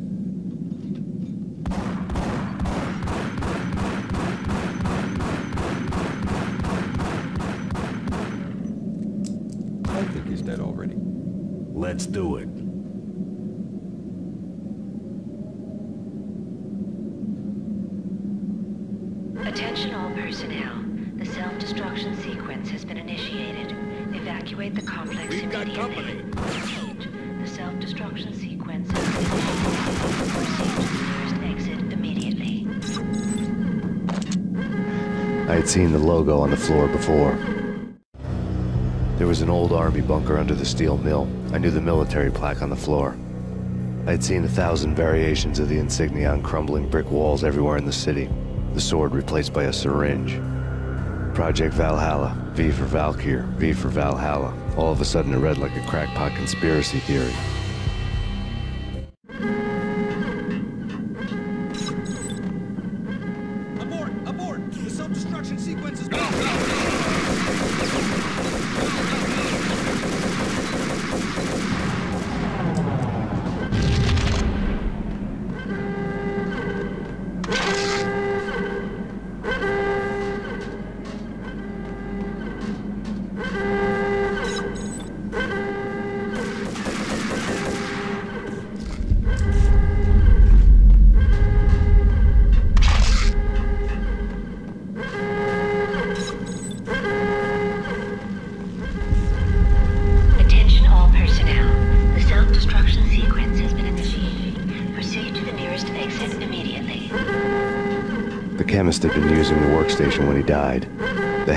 Half-life the lab rat had ended online, his password blinking on the screen.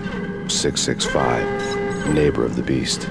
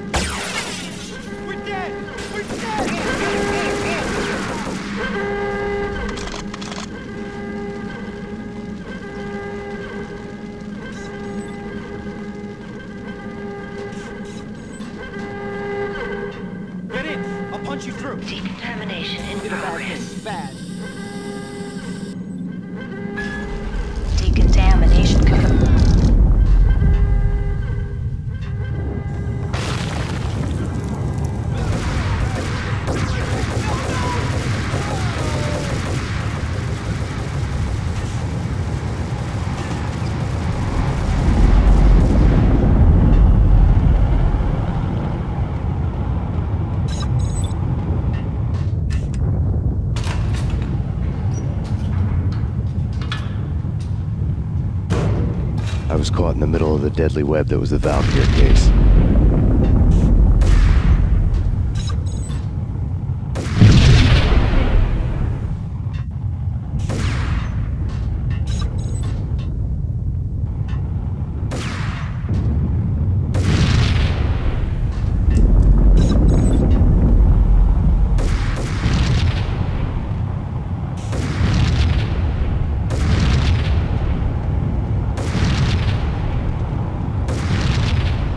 One of the lab terminals had the project logo on the screen.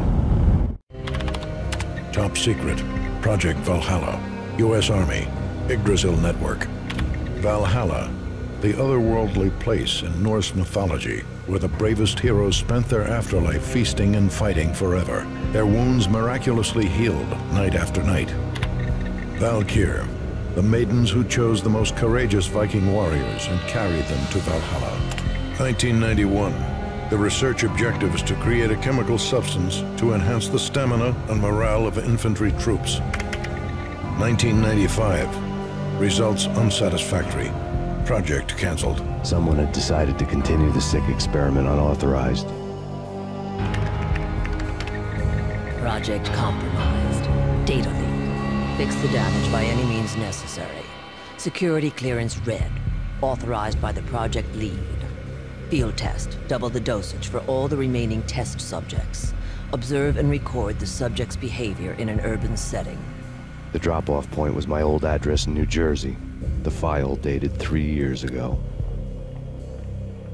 Just when you thought you had reached the deepest depths of horror, it suddenly got worse. How to turn off that small voice inside your head that started to whisper that you should be glad that now, if not before, your revenge was justifiable on any conceivable moral scale.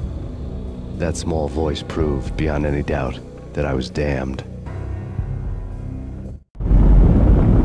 The dagger-heeled woman had come and gone a long time ago. There was nothing more for me here. The bunker's name was acting as a self-fulfilling prophecy.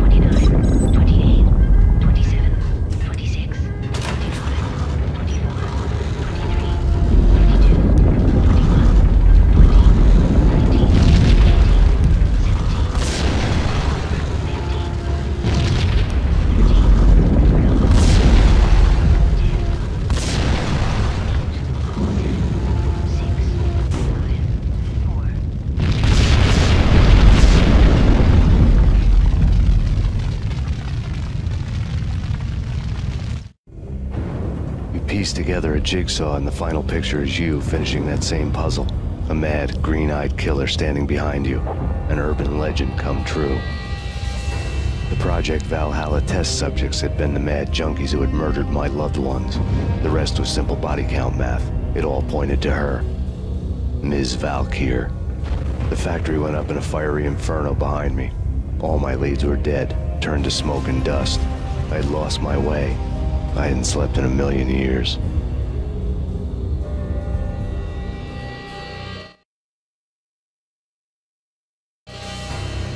Thin as death. I've been living on an endless supply of week-old donuts. They were fuel for this crazy furnace inside my head. I couldn't remember when I had last seen the sun.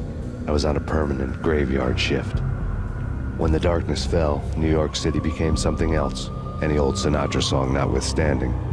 Bad things happened in the night, on the streets of that other city, Noir York City. I was in an all-night diner, downing cup after cup of coffee that tasted like engine oil, when a new message from BB got me back on the killer track. What the hell happened at Roscoe Street? Maxie, I'm going out on a limb here. We need to talk this through, come up with a plan. 2.30 a.m., the Choir Communications Garage. The more I thought about Alex's murder and the frame-up, the more it felt like an inside job. I should have seen it coming. BB had sold me out, and now he wanted to finish what he'd started. The garage was dead. BB showed up in his tailor-made suit, gold watch, and cufflinks to match. All way beyond a cop's pay. Maxie. Oozing suave charm, he was guilty as hell. What the hell does BB stand for anyway? Backstabbing bastard? Come on, don't be like that. Have a cigar. I don't smoke. Maxie, you have no idea how big this is. It's huge. You have no idea. I think I do. You're a bribe-taking bent cop who sold out his partner. Those mobsters in the subway were a dead giveaway. Hard to miss. Bet it was exactly like this with Alex. Up close and personal. You can't win this one, Max. No, but I can make damn sure none of you do either. BB turned out to be another cardboard cutout bad guy.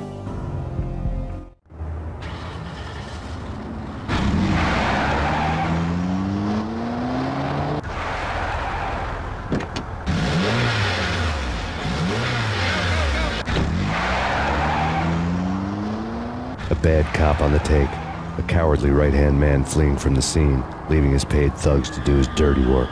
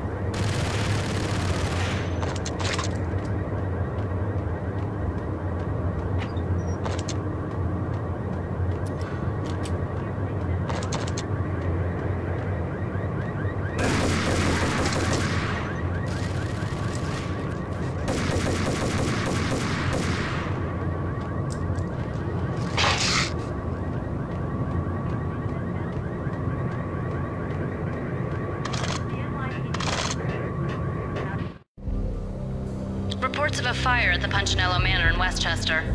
The manor is the home of Angelo Punchinello, the alleged head of the Punchinello crime family. The police are now saying, contrary to their earlier statements, that Max Payne is still alive and at large. He continues his vendetta against the Mafia, of which this last act of arson is attributed to.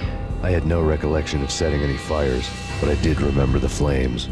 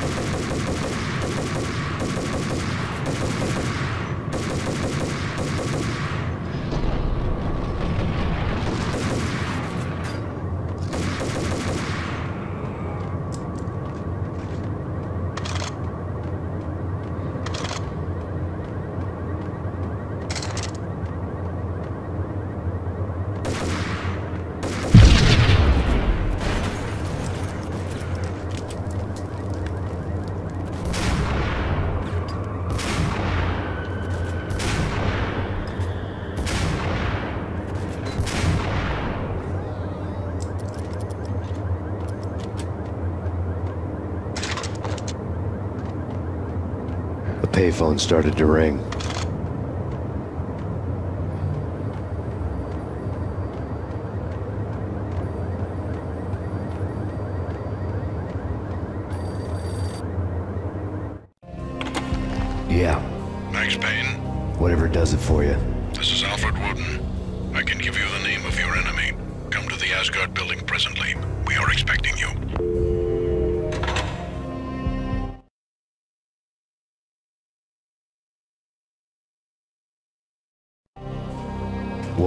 Waiting for me on the steps of the old building. Mr. Payne, let's go inside. The others are anxious to begin. The others? Despite the general misconception, this building actually predates the City Hall by two years, thus being the oldest municipal building still in use here at the foot of the Brooklyn Bridge. No kidding. The old man played tour guide as he led me through a dark domed hall. The answers I was after loomed large ahead. Mr. Payne, would like to introduce you to my colleagues in what we call the Inner Circle. You've been watching too much X-Files. You have seen the files on Project Valhalla. We can fill the gaps, provide you with the information missing from those files. We were all involved in the early stages of the project during the Gulf War. What's the catch? We would very much like to blow this thing wide open, but our hands are tied. Her name is Nicole Horn. She was the key figure in Project Valhalla. When the funding was discontinued, she simply refused to quit. She knew exactly what she had in her hands. Nicole Horn is the president of Aesir Corporation. She has more than half the city in her pocket. This must be kept under wraps. If you try to go public with this, we will deny any knowledge. We need you to take her out. Afterwards, we can protect you. Make all the charges go away. That was the cue for the killer suits to kick in the doors and swarm inside.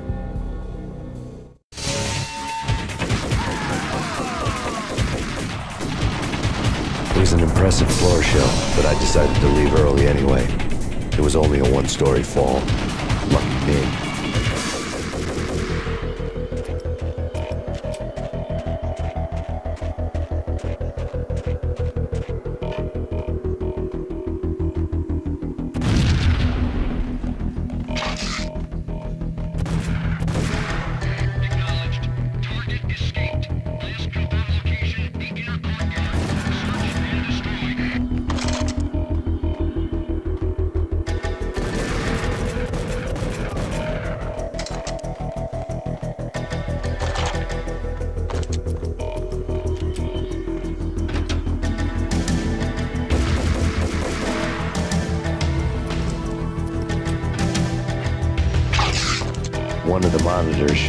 Left of the inner circle.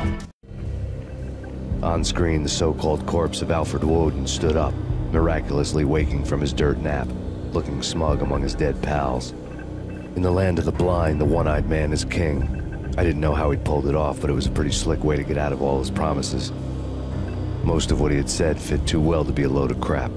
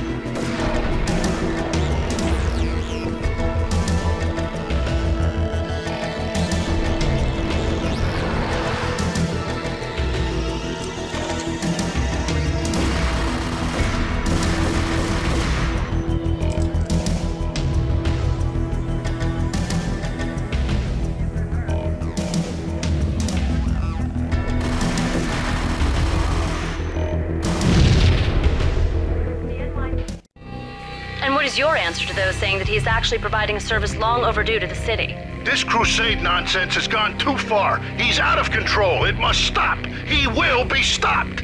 That was Deputy Chief Jim Bravura from the New York City Police Department.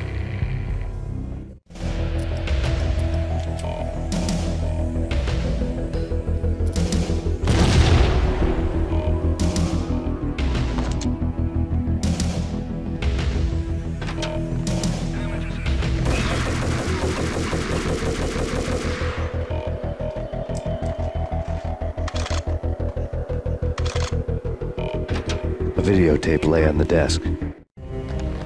Nicole Horn had blackmailed the inner circle into silence. The tape came with a curt extortion note on a piece of expensive paper. I remembered Candy Dawn taping her clients in action on the side, selling the tapes to the highest bidder. I was sure that kinky sex was nowhere near Alfred Woden's worst sin. But I had a feeling that when this was over, any collateral would come in handy. Woden had left me a present. Woden had taken care of my mission preps with military precision. The critical areas in the Aesir Corporation headquarters blueprints were circled in red. The president's office was at the top of the building, right below her penthouse suite. The elevators were controlled by a security computer, part of the mainframe located underground below the building. The high rise was sealed as tight as a sci fi fortress.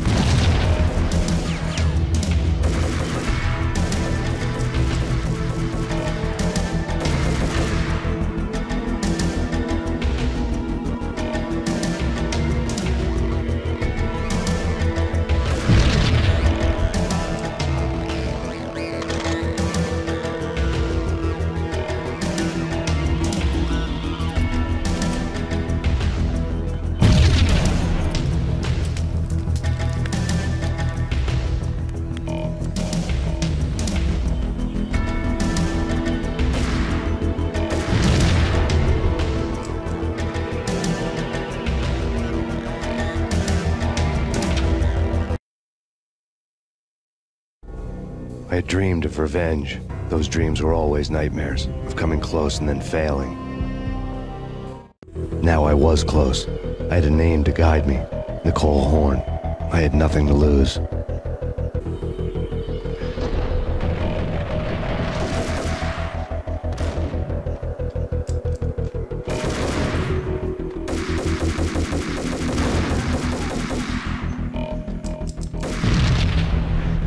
The circle had quite a track record. Project Valhalla had not been the only thing the Inner Circle had been involved in. There were rows of cabinets full of files. The Serpentine Secret Society went back a long way, always pulling strings from the shadows. I couldn't say I was sorry. Woden's move in some Byzantine power game had cut the Circle's membership roster to one. The old man wanted me on cleanup duty. It was my mess, too.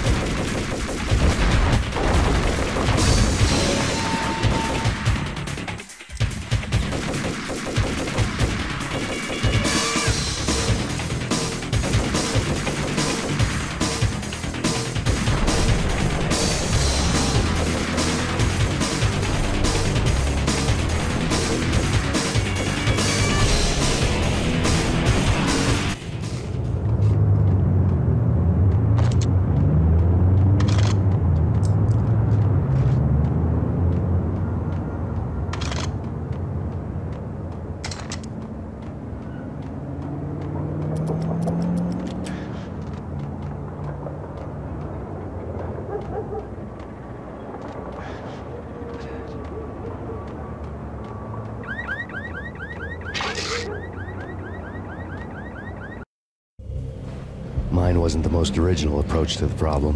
It wasn't as if it hadn't all been done before. An eye for an eye, the first principle of revenge. Old as dirt, still going strong. The cardinal rule in going after someone with an intention to kill was not to make it personal, which it almost always ended up being anyway. It did with me. I took my time, cruising around the city in the snow. There was no hurry. I knew what I had to do now. I took my time, thinking about it, building up the rage. When I was ready, I parked the stolen wheels at the front entrance of the Aesir Corporation headquarters. Got out, got in, got cracking. I had a bullet with Nicole Horn's name on it. I had 10,000 bullets with the Hag's name on them. She had ultra high-tech security systems, enough mercenaries and weaponry to start World War III. There was no fear. New York disappeared behind a veil of snow. I had crossed the threshold. This was her domain, sleek and sexy and soulless, all glass and steel. A place of color-coded security keycards, metal detectors, and surveillance systems.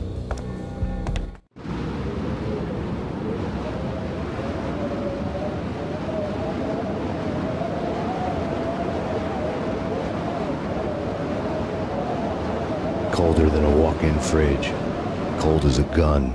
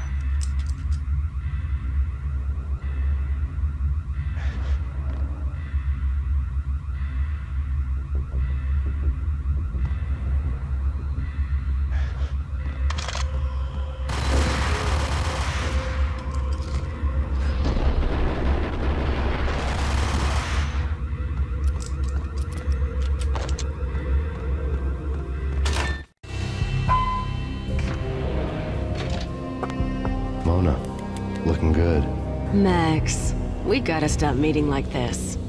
It will be a cold day in hell before I let a narc cop stop me. Miss Sax, do your job. Relax, Max. You're a nice guy. I don't kill nice guys. You're not bad yourself. It was different when Horn wanted Punchinello dead. To cut her ties to the Mafia. He deserved to die. The same goes with her. She's the bad guy here. Her sister was whispering to her in my favor. I knew the appetites of ghosts intimately. They hungered for revenge. Matt! No! A gunshot boomed and she fell down in slow motion. She was a nice girl, not really a stone cold killer. And now she was stone cold dead. If religious fanatics or loyal samurai Horn's private army was coming at me,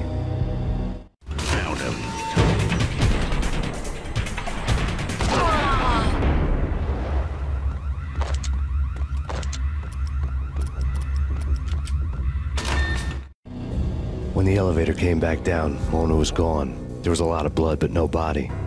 Something clicked for the final time. My mind had never been so clear, as if somewhere high above the storm clouds were already gone, cold stars blazing from the black skies.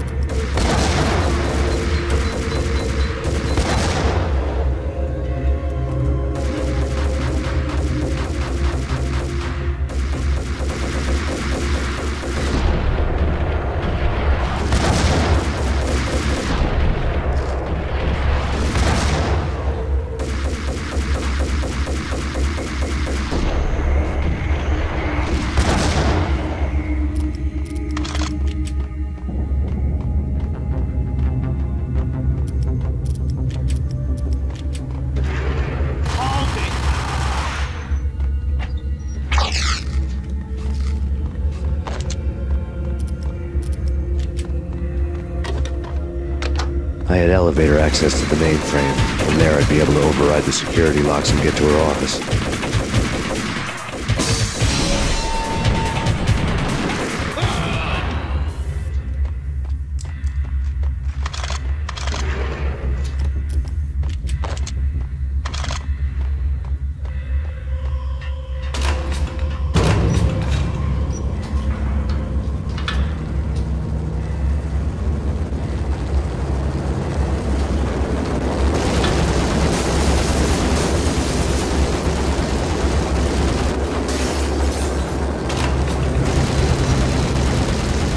The unmarked chopper was Horne's pet guardian, inhuman and flawless. It was stalking me.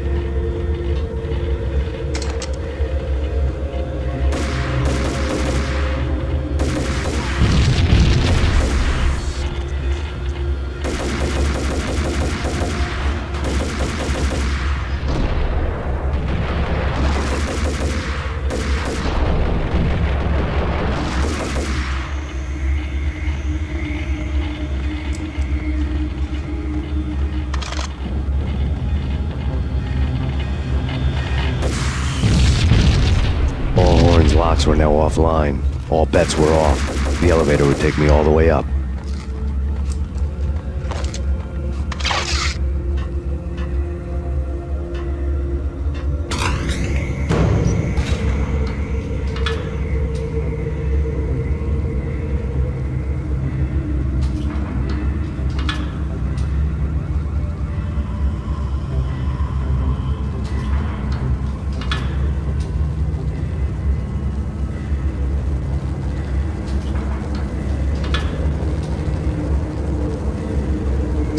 From this height, the night seemed to stretch on to eternity. A hint of desperation had crept into the snowstorm, as if it was trying to get it all out before the end.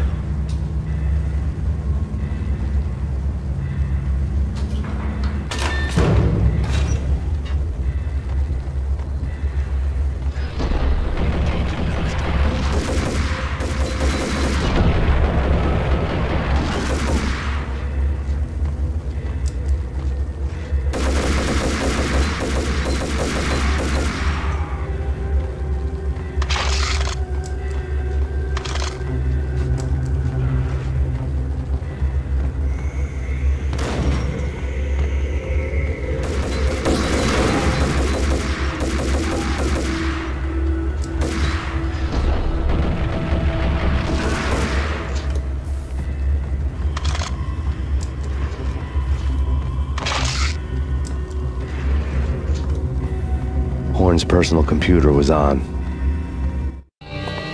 Next to the printer was a neat stack of expensive paper. Hacking through Horne's computer would have unearthed files of criminal plans, strategies for world domination, spy helicopter reports, illegal wiretap recordings, internet porno, all of the above. Take your pick. I really didn't care anymore. I had seen too much of it already.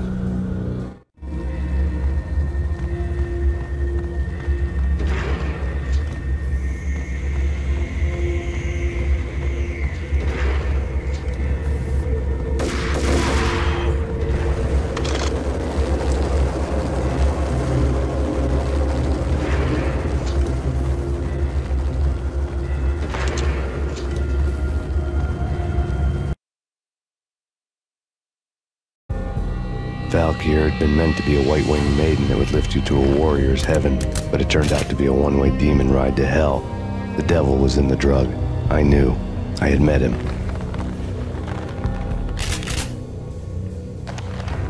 And now I was gonna kill her. The queen of the underworld who had tried to lift herself a bit closer to heaven with her drug money.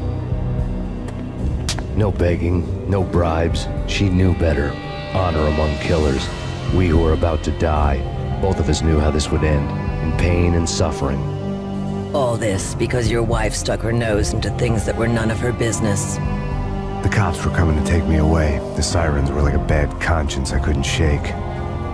It's ridiculous you've made it this far. You won't be alive when they get here.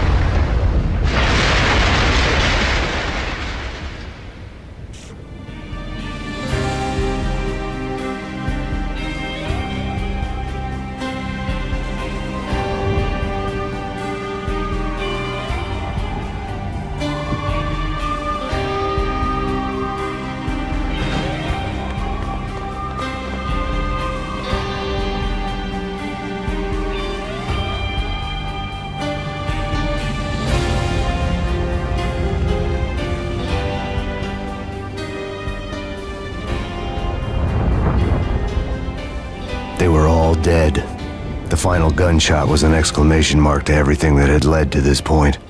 I released my finger from the trigger. And then it was all over. The storm seemed to lose its frenzy. The ragged clouds gave way to the stars above.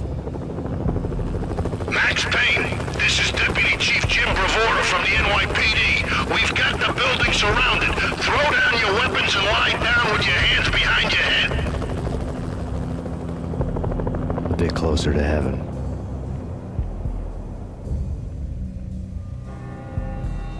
The cops' voices were distant and muted. Freeze! NYPD! Hold it right there! My ghosts released me from their haunting. Down below, New York City glittered like diamonds on black velvet. You gave us one hell of a ride. Take him down to Central Booking. You heard the man. Woden was there in the crowd, standing by the sidelines. It wouldn't be over till the man with the patch would say so. He'd say the right words. I knew he would. He'd better. Woden grinned smugly. It was the grin of a winner. That made two of us.